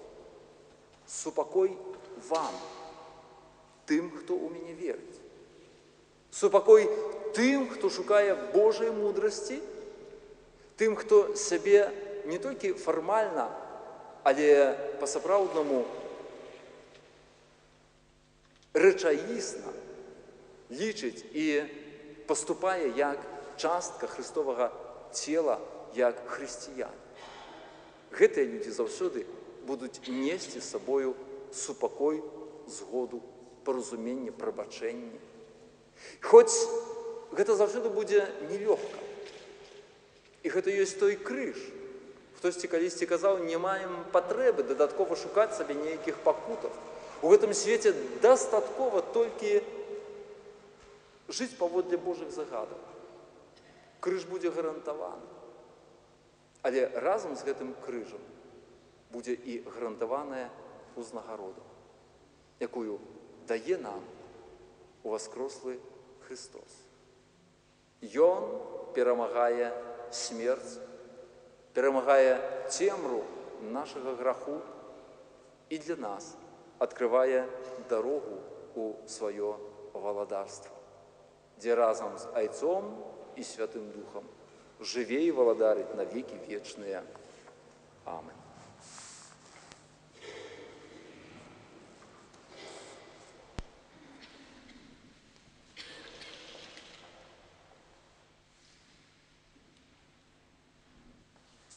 Закончылася гамілія біскупа віцебскага Олега Буткевіча.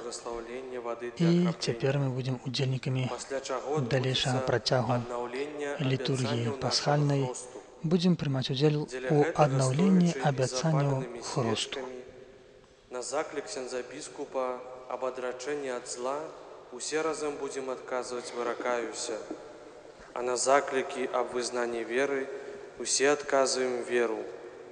Пасля гэтага ксёнз біскуп пройдзе праз увесь касцёл і акропіць усіх нас вадой, каб прыгадаць кожнаму наш уласны хрост.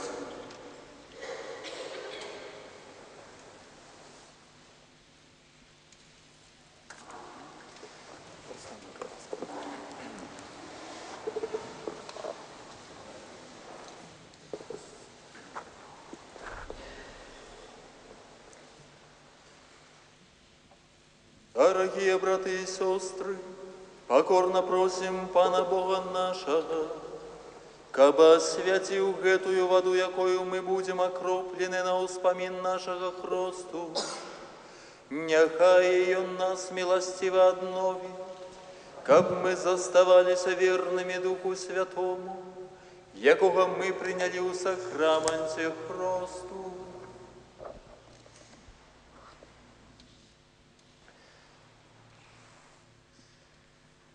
Пане наш Боже, да поможи ласкава нам Твоим верным, бо чуваючи у гэтую найсвятейшую ночь, мы узгадываем дивосную справу нашего створения и еще больше дивосную справу нашего откупления. Выслухай ласкаво наши молитвы и освяти гэтую воду. Ты створил яе, каб давала урадлівасць ніва, каб умацоўвала і ачышчала нашыя целы.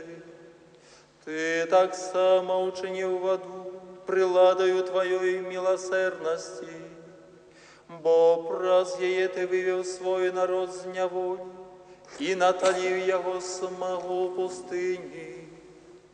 У прадказаннях пророкаў вода была знаком новага запавета, які ты пажадаў заключыць з чалавецтва. Нарэшце праз ваду, якую Христос асвяціў Ярдане, ты аднавіў купелі адраджэння нашую сапсаваную натуру. Няхай жа гэтая вода нагадывая нам прыняты крову, каб мы радоваліся разом з нашими братами і сестрами, охрещенными у гэтую найсвятейшую ночь, праз Христа Пана нашага. Паміраць з Христом, каб затым з ім воскрэснуць, гэта неаднаразовая падзея, гэта штодзённы станоўчы выбар. На заканчэнне літургіі хросту кожны з прысутных чарговы раз выракаецца сатаны і ўсяго, што вядзе да граху, а вызнаючы сваю веру, пастанаўляе пры дапамозе ў васкрослага Хрыста жыць паводле яго Евангелля. Праз пасхальную таямніцу мы у сакраменце хросту былі пахаваныя з Христом у смерць, каб разам з ім увайсці ў новае жыццё. Таму, скончыўшы саракадзённы пост, адновім абяцанні святого хросту, у якіх мы калісьці выракліся злога духа і яго справаў і паабяцалі служыць Богу ў святым каталіцкім касцёле. Таму пытаюся у кожнага з вас. Ці выракаешся граху, каб жыць у свабодзе дзяцей Божых? Ці выракаешся ўсяго, што вядзе да зла, каб грэх табой не авалодаў? Ці выракаешся сатаны галоўнай прычыны граху? Ці верыш у Бога айца самагутнага, стварыцеля неба і зямлі? Веру. Ці верыш у Езуса Христа, сына яго адзінага, пана нашага, народжанага з дзевы Марыі, замучанага і пахаванага, які ў воскрос з памерлых і сядзіць праваруч айца? Веру. Ці верыш у Духа Святога, святы каталіцкі касцёл, еднасць святых адпушчэння грахоў, у воскрашэнне цела і жыццё вечнае?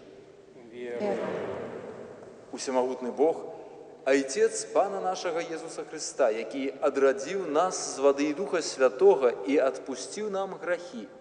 Няхай сваёю ласкаю захавае нас на жыццё вечнае у Езусе Христе, Пану нашым. Амен. Чыстая, карнічная, яна дае магчымасць заспакаення прагі, ачышчэння ад бруду і згашэння агню. Без вады няма жыцця. Асвечаная моцай Хрыста яна з'яўляецца сімвалам ачышчэння чалавека ад першароднага графу. Адбываецца цяпер акрапленне вернікаў асвечанай вадой. Варта нагадаць, што гэта не ёсць асвячэнне страваў на велікодны стол. Гэта менавіта акрапленне людзей, вернікаў. Асвячэнне страваў на велікодны стол наступіць крыху пазней, напрыканцы набажэнства.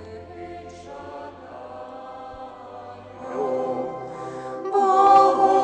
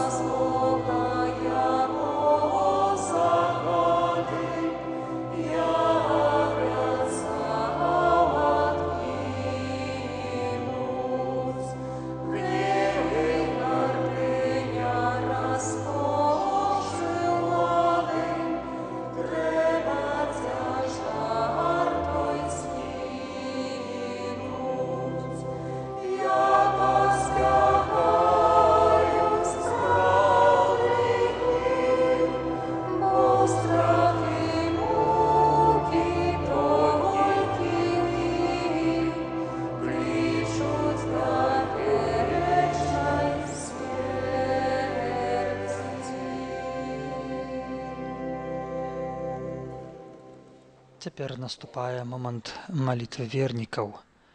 Момант, калі касцёл узносіць свае просьбы да Бога ў розных патрэбах, звяртаецца да яго абрашэнні праблемаў сучаснага чалавека і грамадства. Малітва, у якой увесь касцёл далучаецца да малітваў паасобнага хрысціяніна. З радасцю просім Бога нашага Айца. Молімся за святы касцёл, каб абвяшчаў свету з мёртвых паўстання Хрыста і быў сведкам яго перамогі над смерцю. Цябе просім. Молімся за пастыраў касцёла, каб у цяжкія хвіліны яны ўмацоўвалі сваіх вернікаў асабістым прыкладам веры ў Божы провід. Цябе просім.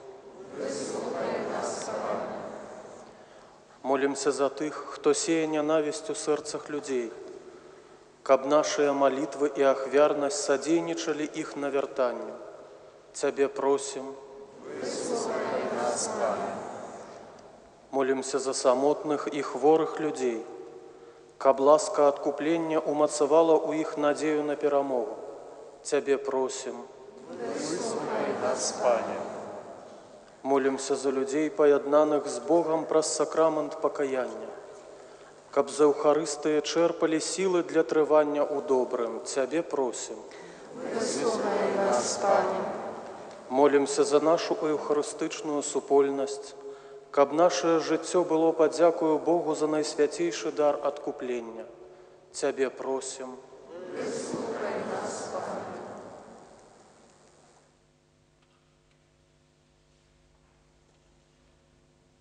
Боже, добрый Ойче, Твой Сын дозволил нам спознать Твою любовь до нас.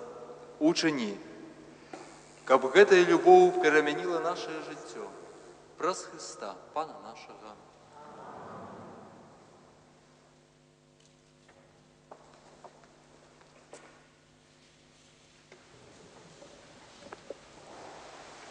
Мы аднавілі ў сабе ласку святого Хросту, праз які мы уваскрэслі ў Хрысце да новага жыцця. Цяпер уваскрослы пан запрашае нас на сваю пасхальную вячэру, напоўненыя радасцю, складаем Богу айцу падзяку за дар у воскресення Хрыста і нашага удзелу ў Ухарыстыі. Распачынаецца літургія Euхарыстычная, у якой віно пераменіцца ў кроў, а хлеб у цела Хрыста. Гэта наш пакарм на жыццё вечнае. Разумеючы вялікую любоў Бога да нас, не застанёмся без гэтага духоўнага пасілку.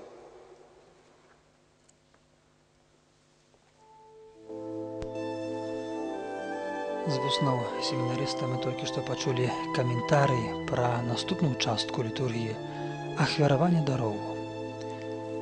Святар узносіць спачатку падрыхтаваны хлеб, а потым віно са словамі благословлены ты, пане Божу сусвету, бо дзякуючы твоей шчодрасці мы атрымалі хлеб і віно. Хлеб і віно неабходныя для эўхарыстычнай ахвяры. Без гэтых дароў не можа адбыцца святая імша. Гэтаксама без вернікаў і іх актыўнага ўдзелу не можа адбыцца касцёл. Літургія гаворыць нам пра важнасць ахвяравання самога сябе, свайго часу, сваёй працы для касцёла і наогул для другога чалавека.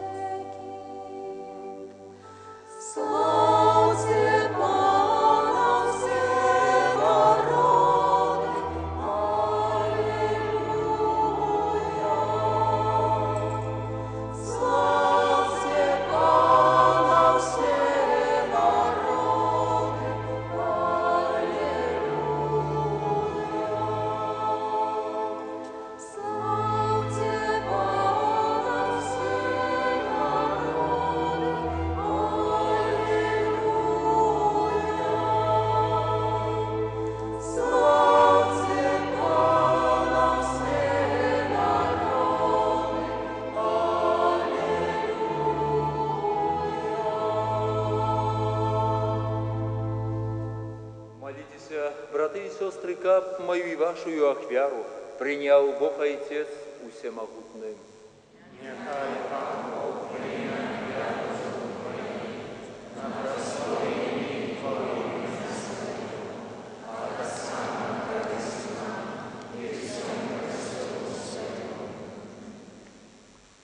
Просим Тебя, Пане, прими молитвы и дары Твоего народа, и учеников гэтая ахвяра, якая бяре пачатак у пасхальнай таямніцы, была для нас задатком вечного збавлення праз Христа Пана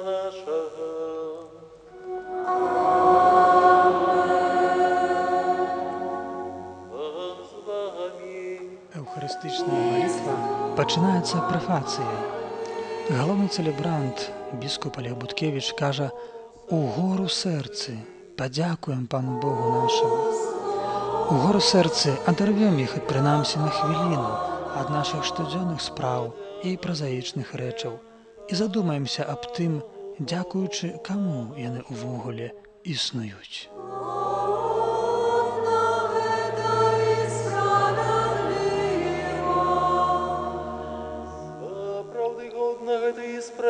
Слушно и избавенно, каб мы Тебе, Пане, завсёды славили, а особливо у гэтую ночь больш урачыста абвяшчалі Твою хвалу. Калі Христос быў ахвяраваны, як нашая Пасха, бо Ён сапраўднае ягнё, Ён узяў гракі свету і сваёю смерцю перамог нашую смерць, вярнуўшы нам жыццё праз сваё з мёртвых паўстанне. Таму адкупленае чалавецтва ва ўсім свеце радуецца ў воскресенню Христа, а хоры анёлаў разам з усімі святымі спяваюць табе гімн хвалы, няспынна ўсклікаючы.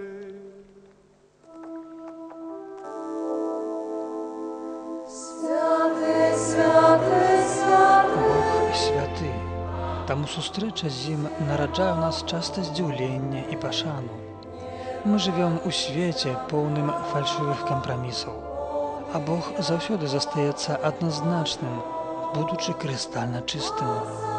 Ён ёсць дабрыня, любоў і ісціна. Святасць Бога не мае ў сабе нават цені пагарды да грэшнага чалавека. Ён прыходзіць да нас не ў прыгнятальнай велічы, а ў простых і звычайных рэчах, хлебе і віне. Ён становіцца блізкі да нашага параненага грахом свету і прыходзіць да яго таямнічай спакойна, як можа гэта зрабіць толькі сапраўдная святасць. Христа, Сына Твоего, Пана нашего, как принял и благословил гэтые дары, гэтые приношения, гэтую святую и беззаганную ахвяру. Складаем я Тебе найперш за Твой святый католицкий костел. Будь ласкавы адорваць супакоем, ахоўваць, яднаць і кіраваць ім ва ўсім свеце. Разам са слугой Тваім, папам нашым Францішкам, мной нягодным слугою Тваім і усімі, хто верна захоўвае і вызнае каталіцкую і апостольскую веру. Pamiętaj, Panie, pra sługą Twoich i pra всіх тут присутніх, віру і відданість, яких Ти відаєш. За їх ми приносимо Тобі гетую ахвяру хвали, і я не так само я її Тобі приношу. За siebie i za wszystkich swoich bliskich, za odkupienie swoich duszów, za nadzieję na zbawienie i uratowanie, uznosić swoje modlitwy dla Ciebie, dla Boga wiecznego, żywego i prawdziwego.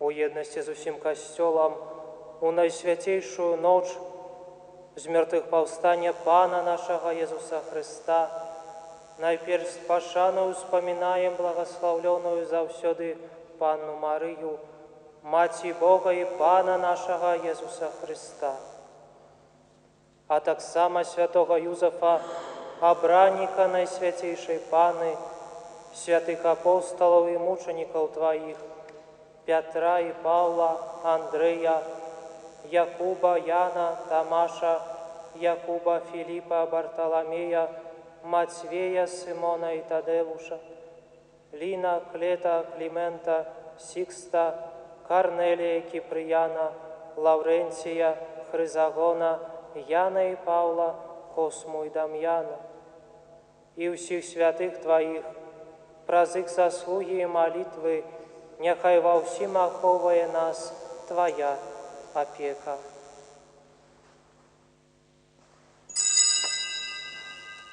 Пане ласкава, прими, просим, гэтую ахвяру ад нас Твоих слухаў і ад усёй сям'і Тваёй.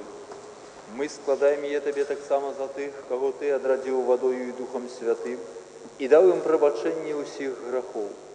Захавай дні нашы ў Тваім супакоі, збаў нас ад вечнага асуджэння і далучы да Тваіх выбраных. Просім Цябе, Божа, моцаю свайго благаслаўлення, асвяці гэтыя дары і ўчыні іх дасканалую і мілую Табе ахвярай, каб сталіся яны для нас целам і крывёю Твайго наймілейшага Сына, Пана нашага Езуса Христа. Напярэдадні мукі Ён узяў хлеб у свае святыя і дастойныя рукі, падняў вочы да неба, да Цябе Бога свайго айца всемагутнага, і падзяку табе складаючы благаславіў, ламаў і раздаваў сваім вучням, кажучы: Бярыце і ешце з гэтага ўсе, бо гэта ёсць цела маё, якое за вас будзе выдана.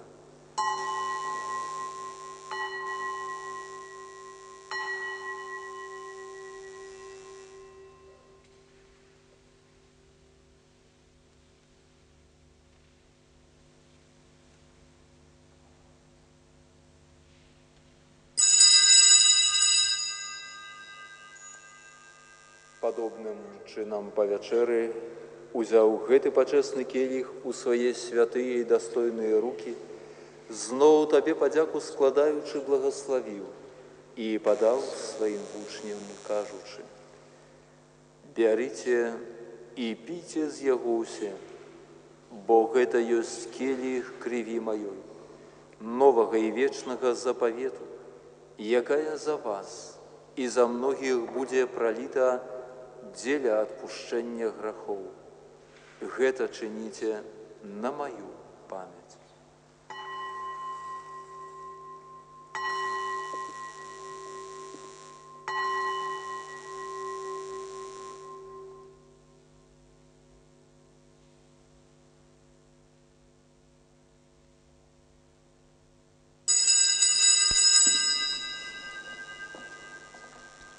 Мы добра ведаем, што не адзіным хлебам жыве чалавек. Таму ўзносім нашае сэрца яшчэ вышэй да сэрца самога Бога, які зрабіў нас здольнымі да любові. І толькі там мы ўбачым, што Божае сэрца было паранена праз наш эгаізм, зайздрасць, ненавісць, што было правіта на крыжы за грахі свету. Мы дзякуем Христу за тое, што Ён перамог цемру і даў нам сапраўднае жыццё. І твой люд святы, успамінаючы благаслаўлёную муку і ў васкрасенні, а таксама хвалебнае ў неба ўшэсце Езуса Христа, Сына Твайго, Пана нашага, складаем найсвяцейшай велічы Тваёй, з Тваіх даровы шчадротаў, ахвяру чыстую, ахвяру святую, ахвяру беззаганную, хлеб святы жыцця вечнага і кіліх вечнага збаўлення. Узглянь на яе міласцівае і спагадна, і ласкава прымі яе, як прыняў дары праведнага слугі твайго Авеля, ахвяру патрыарха нашага Абрагама і святую да беззаганную ахвяру, якую прынёс табе найвышэйшы святар твой Мальхізадек. Пакорна просім цябе, усемагутны Божа, загадай свайму святому анёлу, занесці гэтую ахвяру на твой нябесны алтар, прадаблічча тваёй боскай веліч, каб заўсёды ўсе мы, якія ўдзельнічаем у гэтай ахвяры алтара і прымаем найсвяцейшае цела і кроў сына твайго, атрымалі шчодрае нябеснае благаслаўленне і ласку. Памятай, пане, таксама пра слугаў тваіх Галіну і Юзафа, Вераніку і Віктара, якія адышлі перад намі са знакам веры і спяць у супакоі. Просім цябе, пане, дай ім і ўсім, хто спачывае ў Хрысце, прабываць у месцы суцяшэння святла і супакою. Таксама і нам, грэшным слугам тваім, якія спадзяюцца на вялікую міласэрнасць тваю, будь ласкавы даць удзел у еднасці з тваімі святымі апосталамі і мучанікамі, з Янам, Стэфанам, Мацеем, Барнабам, Ігнацыем, Александром, Марцелінам, Пятром, Феліцытай, Перпетуай, Агатай, Люцыяй, Агнешкай, Цэцыліяй, Анастасіяй і ўсімі святымі тваімі. Увядзі, просім і нас у іх супольнасць не дзеля нашых заслугаў, але дзякуючы твайму прабачэнню праз Хрыста Пана нашага. Праз якога ты, Божа, усе гэтыя даброты няспынна ствараеш, асвячаеш, ажыўляеш, благаслаўляеш і нас імі надзяляеш.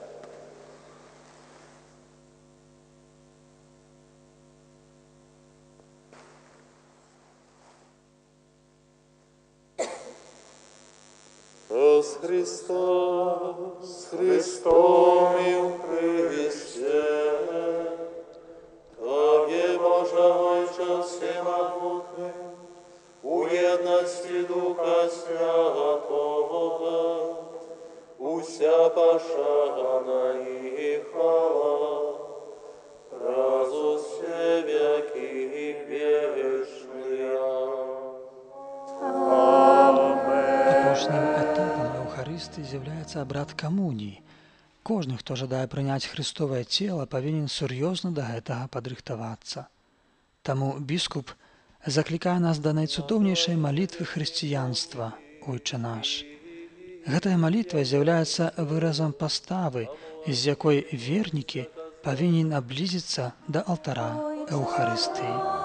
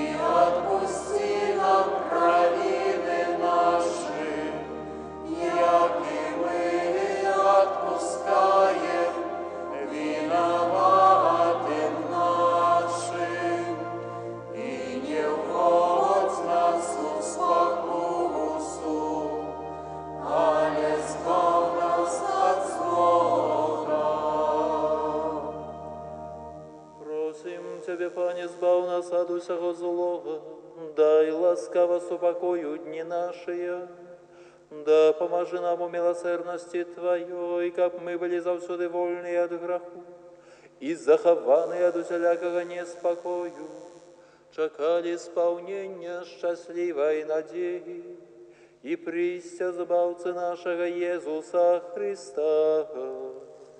Бо Твоего володарства и моц, и хвала на Пане Иисус Христе, Ты сказал апостолам Твоим, «Супокой покидаю вам, супокой мой даю вам».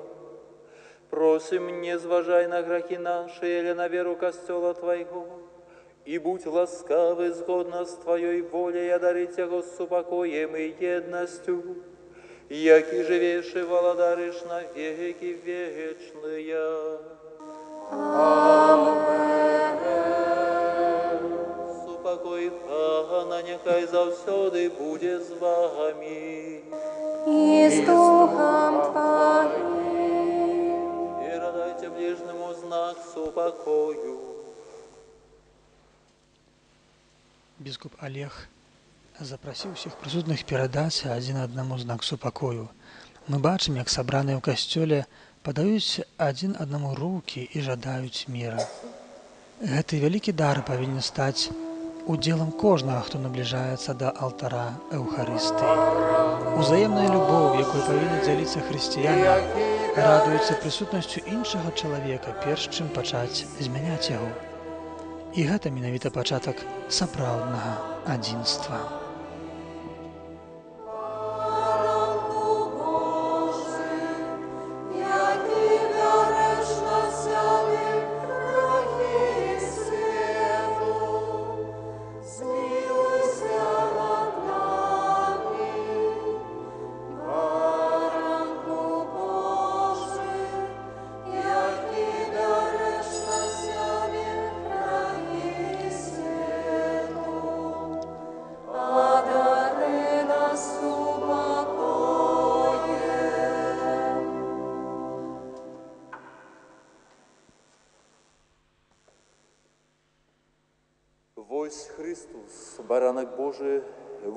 Хто бере на сябе грахи свету, благословленные покликанные на вечеру ягоную. Христос сярод нас. Ён прыходзіць да нас штодня.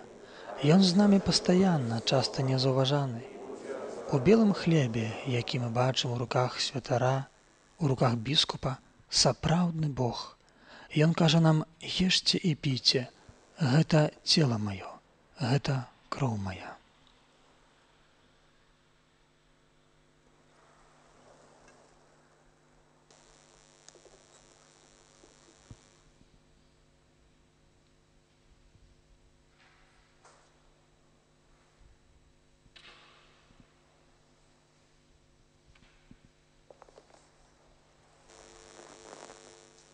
Христос быў ахвяраваны як нашая Пасха, таму будзем святкаваць з праснакамі шчырасці і праўды.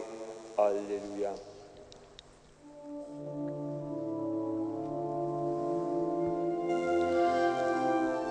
Адбываецца святая камунія, падчас якой вернікі прымаюць да свайго сэрца цела Хрыста, прысутнага пад постаццю хлеба. Езус не аднойчы казаў пра тое, што яго цела дае жыццё вечнае. Прагу вечнага жыцця маюць усе людзі. Ніхто не хоча знікаць бясследна ў вечнасці. Езус дае нам унікальны шанс жыць вечна. Ніякія тэхналогіі, ніякія сучасныя даследаванні не ў стане гарантаваць чалавеку вечнае існаванне. Гэта можа зрабіць толькі Езус. Больш таго, Ён абяцае ўсім, хто спажывае яго цела і п'е яго кроў, не проста вечнае існаванне, а вечнае шчасце.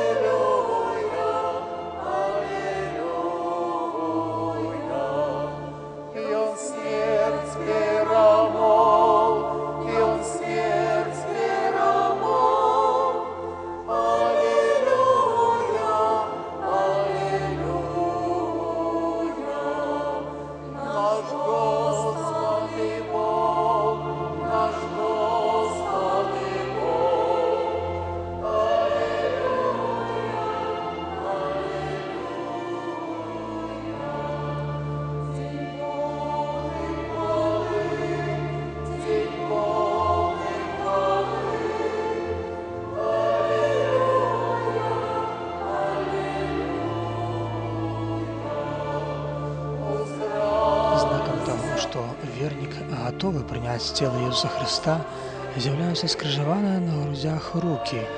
Гэты жэст кажа, што чалавек мае чыстае сэрца. У вялікім посце ў шматлікіх парафіях і віцебскай дыяцэзіі праходзілі рэкалекцыі, спецыяльныя святыя імшы, падрыхтоўка, дзе запрашаліся святары, яны гаварылі казанні, прапаведвалі, навучалі, падказвалі людзям пра правільны выбар у іхным жыцці. Многія вернікі прыступалі да сакрамту споведзі, каб ачысціць сваё сэрца ад грахоў, вызваліць сваё сумленне ад прывязнасці да зла. І толькі ў такім стане можа чалавек прымаць Божае цела, толькі маючы чыстае сэрца, маючы чыстае сумленне, маючы гарачае жаданне ісці следам за Христом, можна з Христом з'яднацца. Святая камунія, цела Езуса Христа дае нам гэтую моц, каб быць разам з ім.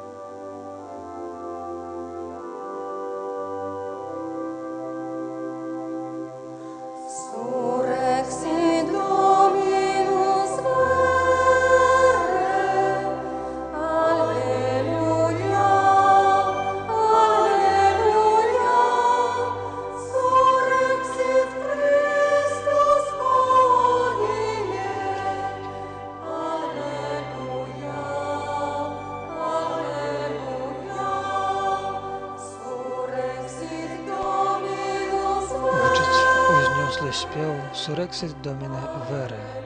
Сапраўды Господ воскрос.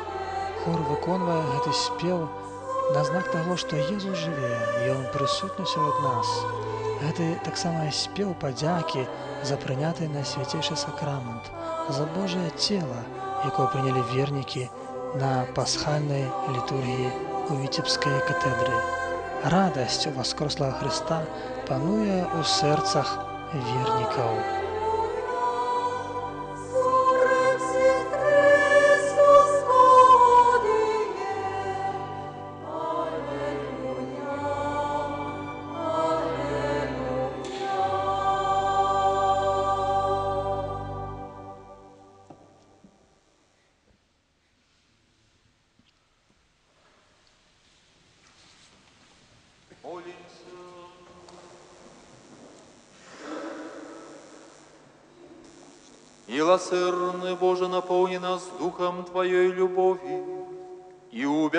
бесконцей Твоей добрині май ласку з'єднать усі, кого Ты узмаснил пасхальным сакраментом, праз Христа Пана нашего.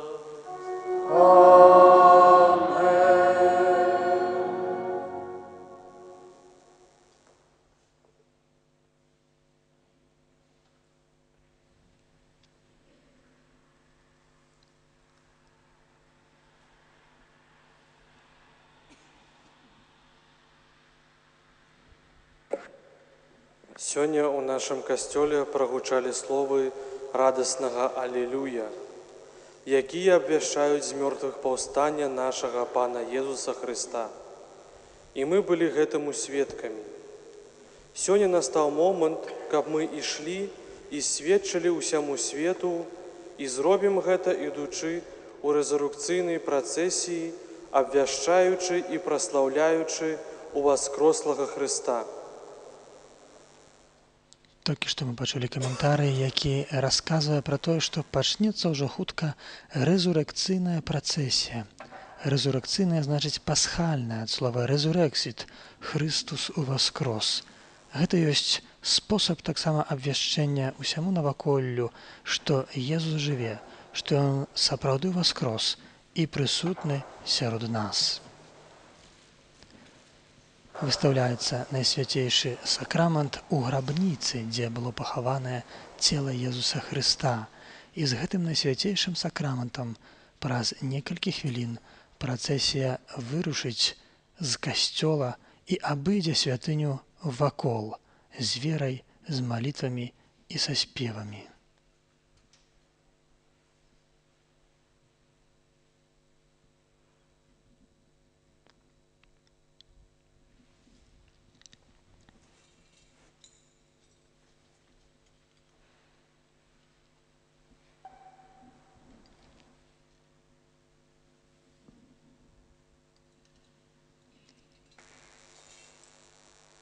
Перад тым, як узяць найсвяцейшы сакрамент у свае рукі, біскуп Алег з глыбокай пашанай акаджвае найсвяцейшы сакрамент. Акаджэнне сімвалізуе малітвы, пакорныя малітвы вернікаў. Дым кадзідла ўзносіцца ў неба і сімвалізуе нашыя просьбы, нашыя падзякі і нашыя перапрашэнні.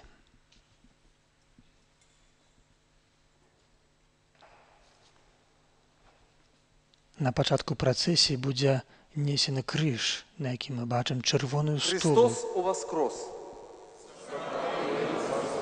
Христос у вас крос. Христос у вас крос.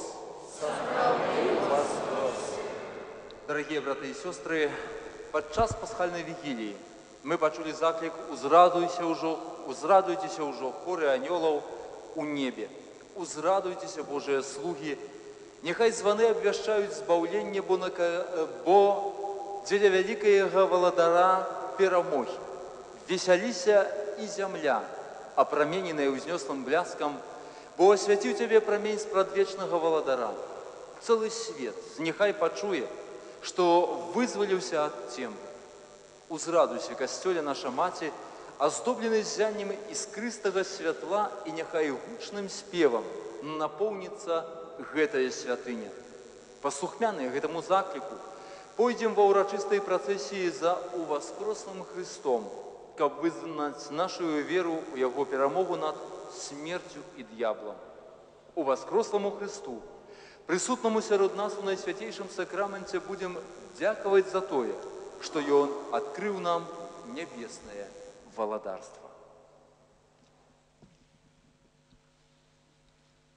Біскуп Алег толькі што заахвоціў усіх вернікаў пайсці ў рэзурукцыйнай працэсіі і сведчыць пра тое, што Езус Христос уваскрос і сапраўды жыве.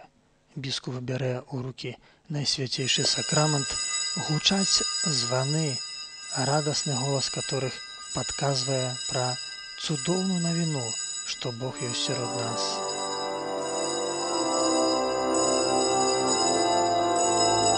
На пачатку працэсіі апрача крыжа мы бачым фігуру Езуса у воскрослага.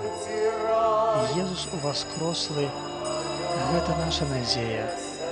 Гэта надзея на тое, што і кожны з нас калісьці уваскрэсне і будзе мець жыццё вечнае у нябесным валадарстве. Господ сапраўды воскрос. Падчас літургіі пасхальнай вігіліі, якую мы разам святкуем у гэтую святую ноч воскресення, мы перажываем гэтую ісціну, слухаючы Божае Слова і беручы ўдзел у Еўхарыстыі. Урачыстая працэсія гэта нашае абвяшчэнне свету, якому Христус прынёс надзею жыцця, што Ён жыве. І гэта Ён нашае жыццё і ў воскресенні. Няхай нашыя сэрцы палымнеюць верай і любов'ю, асвячаюць свет, якому мы ідзём сведчыць аб уваскресенні і жыцці Хрыста.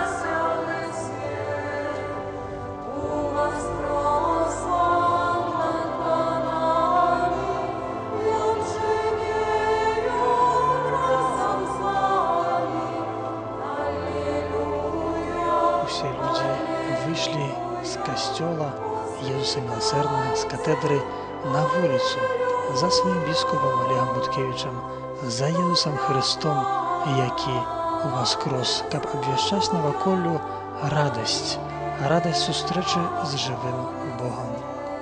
Я ўваскрос і цяпер заўсёды буду з табою. Гэта словы Хрыста, скіраваныя да кожнага з нас. Я цяпер заўсёды буду з табою. Не толькі як поўны велічы Бог з вышыняў неба, але таксама поўны чалавечнасці Бог з глыбіняў адхлані. Я прайшоў праз адхлань і ўваскрос. Я жыву, і я заўсёды буду з табою ва ўсіх тваіх выпрабаваннях, у гадзіны тваю самоты і роспачных сумненняў. Я ўваскрос і цяпер заўсёды буду з табою. Гэта Пасха, гэта нашае збаўленне. Гэта нашае свята і гэта дзень, што стварыў Господ, як першы завяршальны дзень новага стварэння, новага жыцця, у якім сонца, сам Христус ніколі больш не зойдзе. Ці ж можна сказаць нешта большае ў гэты дзень? Гэтым ужо сказана ўсё самае неабходнае. Усё, без чаго нам ніяк не абысціся. існуе любоў, што мацней за смерць.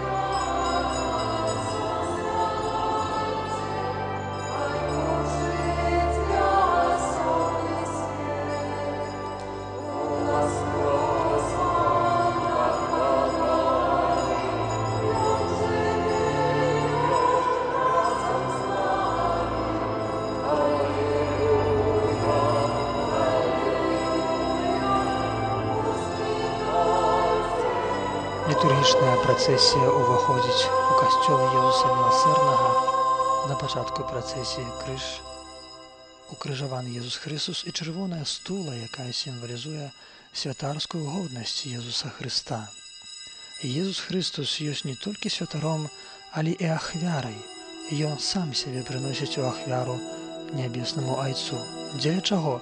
Дзеля таго, каб чалавек мог з'яднацца з Богом, каб чалавек надзею на жыццё вечнае.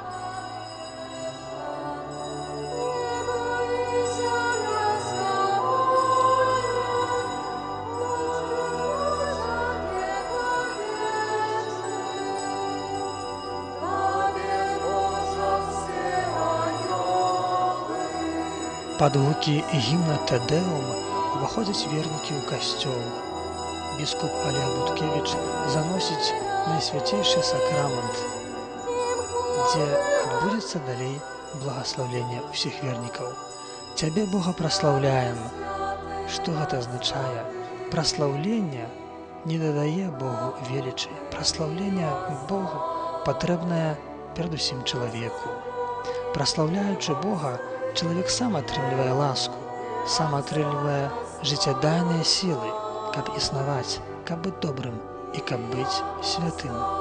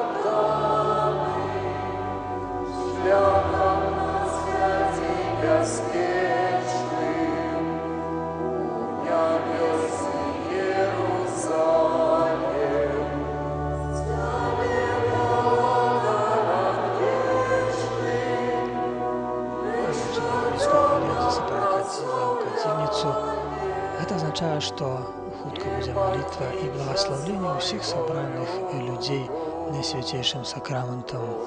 Біскуп з глыбокай пашанай будзе аказваць найсвяцейшы сакрамент, молячыся за сваіх вернікаў, усіх прысутных тут у касцёле, але не толькі у касцёле ў віцебскую катэдры, але і па ўсёй віцебскай вобласці, у віцебскай дыяцэзіі.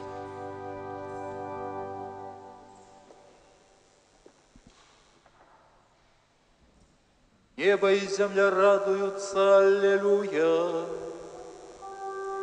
У воскресению Твоему, Христе, Аллилуйя. Молимся. Боже, Ты праспасхальную аквяру Христа дал своему народу збавление, одари Его щедро своими дарами, каб ён досягнув повноти свободи і отримав радость вічного життя, якую дозволяєш йому спознать на землі. Раз Христа Пана нашого.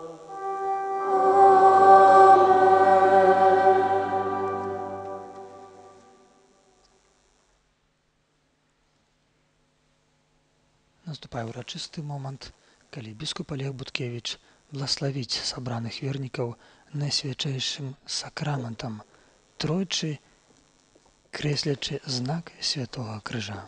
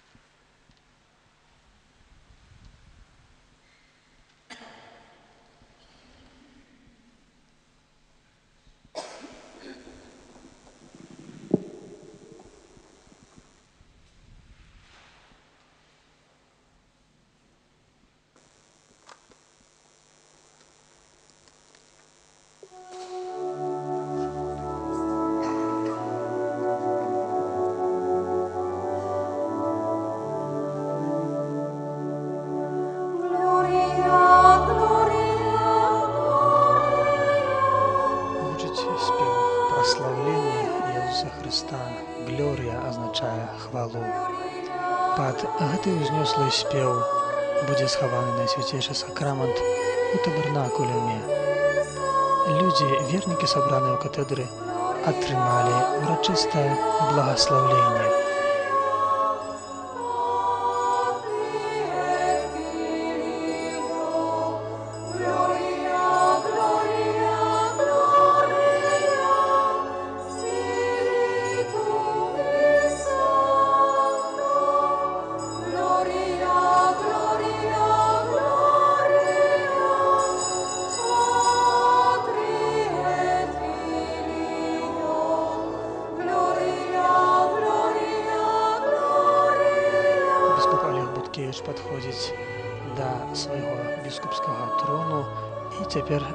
Чакаецца ягонае асабістае слова, скіраванае да прысутных людзей, словы падзякі.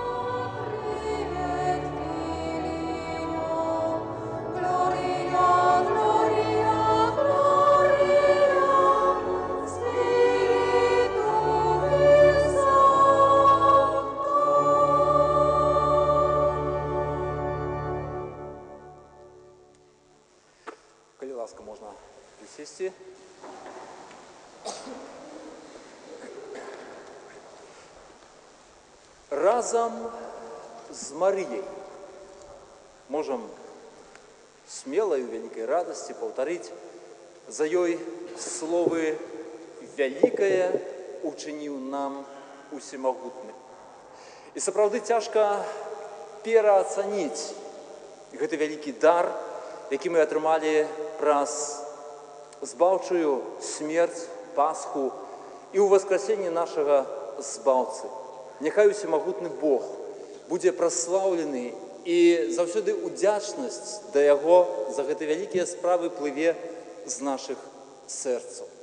І разам з тым хацелася б вельмі шчыра падзякаваць усім тым, хто прычыніўся да прыгажосці сённяшняй урачыстасці, падзякаваць усім прысутным тут святарам на пачатку ксяндзу пробушчу гэтай парафіі, ксяндзу каноніку Адаму Дынаку за яго працу, за яго пасвячэнне, за прыгатаванне сённяшняй літургіі, падзякаваць за прысутнасць і малітву разам з намі галоўнаму рэдактару беларускай секцыі ватыканскага радыё ксяндзу Александру Мельчэню, прысутным тут святарам, прысутным тут таксама сярод нас клерыкам, семінарыстам пінскай вышэйшай пінскай духоўнай семінарыі, падзякаваць усім сёстрам, падзякаваць усім тым, дзякуючы каму мы сёння мелі магчымасць маліцца не толькі ў гэтым касцеле, але разам з тымі, хто знаходзіцца перад экранамі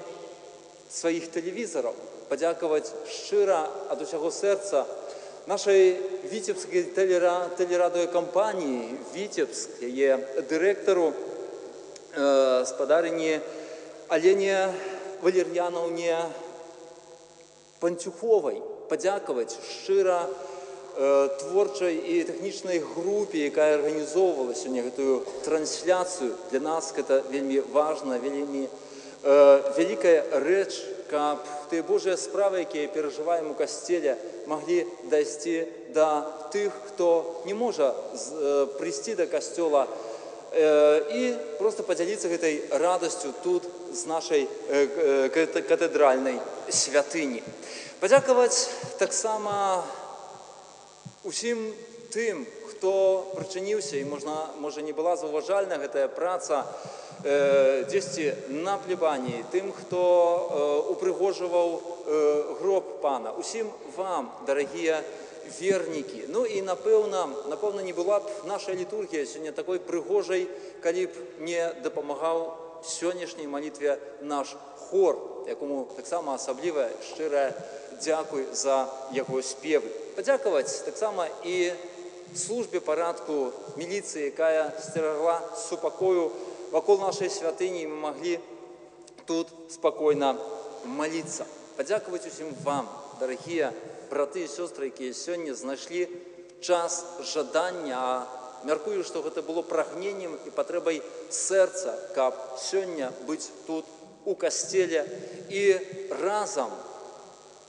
праславіць Бога за той вялікі дар збаўлення, які мы ад яго атрымалі і ў якім з вами жывем.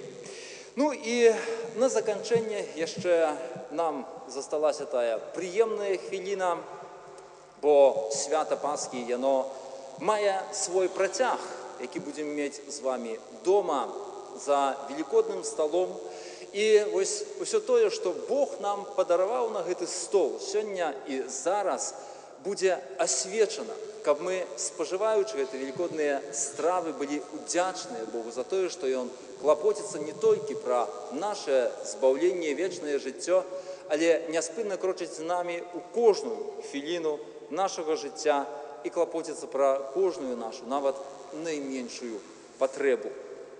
Таму зараз, калі ласка, паўстанем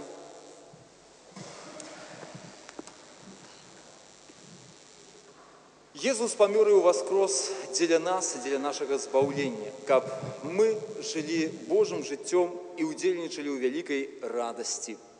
Выражэннем гэтай радасці будзе наша сустрэча з уваскрослым панам у пасхальнай ахвяры святой імшы, якую будзем таксама святкаваць у нядзелю.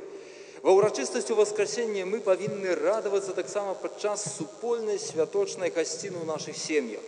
Таму сёння прыносім для благаслаўлення некаторыя стравы, якія будзем спажываць у сям'і і просім, каб Христос напоўніў нашае сэрца радасцю і ўзаемнай спагадай.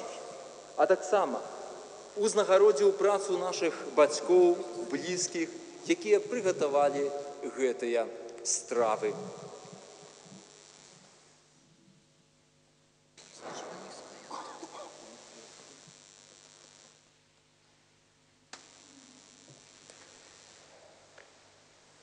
Пане Езу Христе, Ты ў дзень перад мукаю смерцю загадаў вучням падрыхтаваць пасхальную вячэру.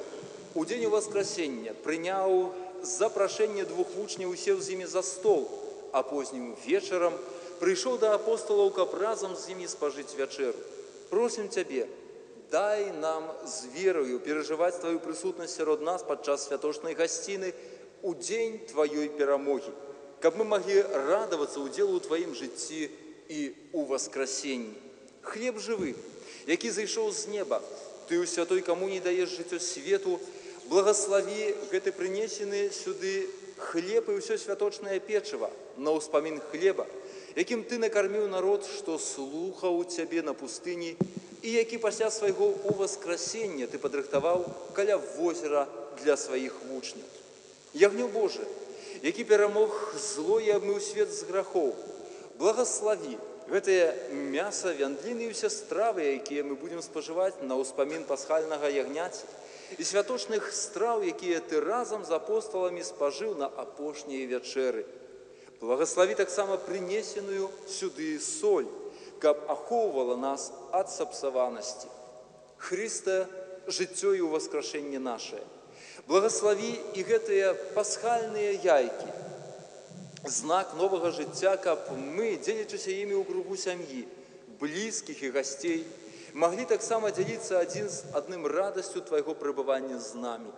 Дай нам усім дайсці да тваёй гасціны, вечнай гасціны, туды, дзе ты жывеш і валадарыш на векі вечныя.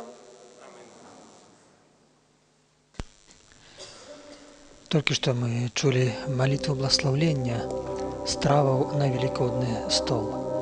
Біскуп пройдзе праз касцёл, асвячаючы святой вадой гэтыя стравы. Асвячэнне страваў на велікодны стол старажытная беларуская традыцыя і вельмі прыгожая па сваёй сутнасці і глыбокая. Нішто так не яднае сям'ю, блізкіх, родных, сяброў, як сумесная страва, сумесны стол, вячэра, сняданне, абед у добрым настроі з малітвай за сябе, за сваіх блізкіх. Біскуп Олег Буткевіч шчыра моліцца за сваіх вернікаў, за віцебскую дыяцэзію. Як мы чулі з ягоных вуснаў, ён усім пажадаў шчасця, здароўя Божага благаслаўлення з нагоды свята вялікадня. З усмешкай на тварах людзі вітаюць свайго архіпастыра. Біскуп звяртаецца да кожнага, любіць кожнага і моліцца за кожнага.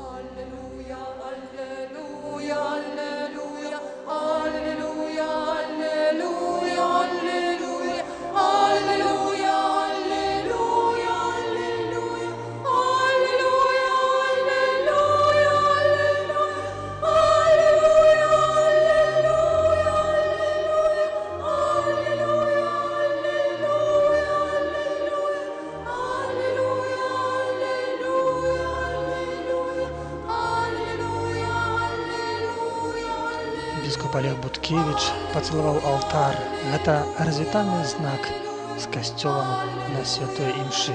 Рыхтуецца працэсія да выхаду з касцёла. Дарагія браты і сёстры. Заканчваецца наша трансляцыя з катэдральнага касцёла Езуса міласэрнага ў Віцебску. Вялікі дзякуй усім, хто працаваў над тым, каб святочную літургію вялікадня маглі пабачыць гледачы Віцебска. Вялікі дзякуй супрацоўнікам тэлеканала Віцебск. літургічнай службе і, канешне ж, парафіі Езуса міласэрнага і асабіста біскупу Алегу Буткевічу. Я, ксёнз Віктор Місевіч, развітваючыся з вамі, жадаю вам бласлаўлення ў васкрослага Хрыста. Няхай у вашых сем'ях пануе супакой, радасць і надзея на вечнае жыццё. Езус перамог смерць. Христос у воскрос. Сапраўды у воскрос.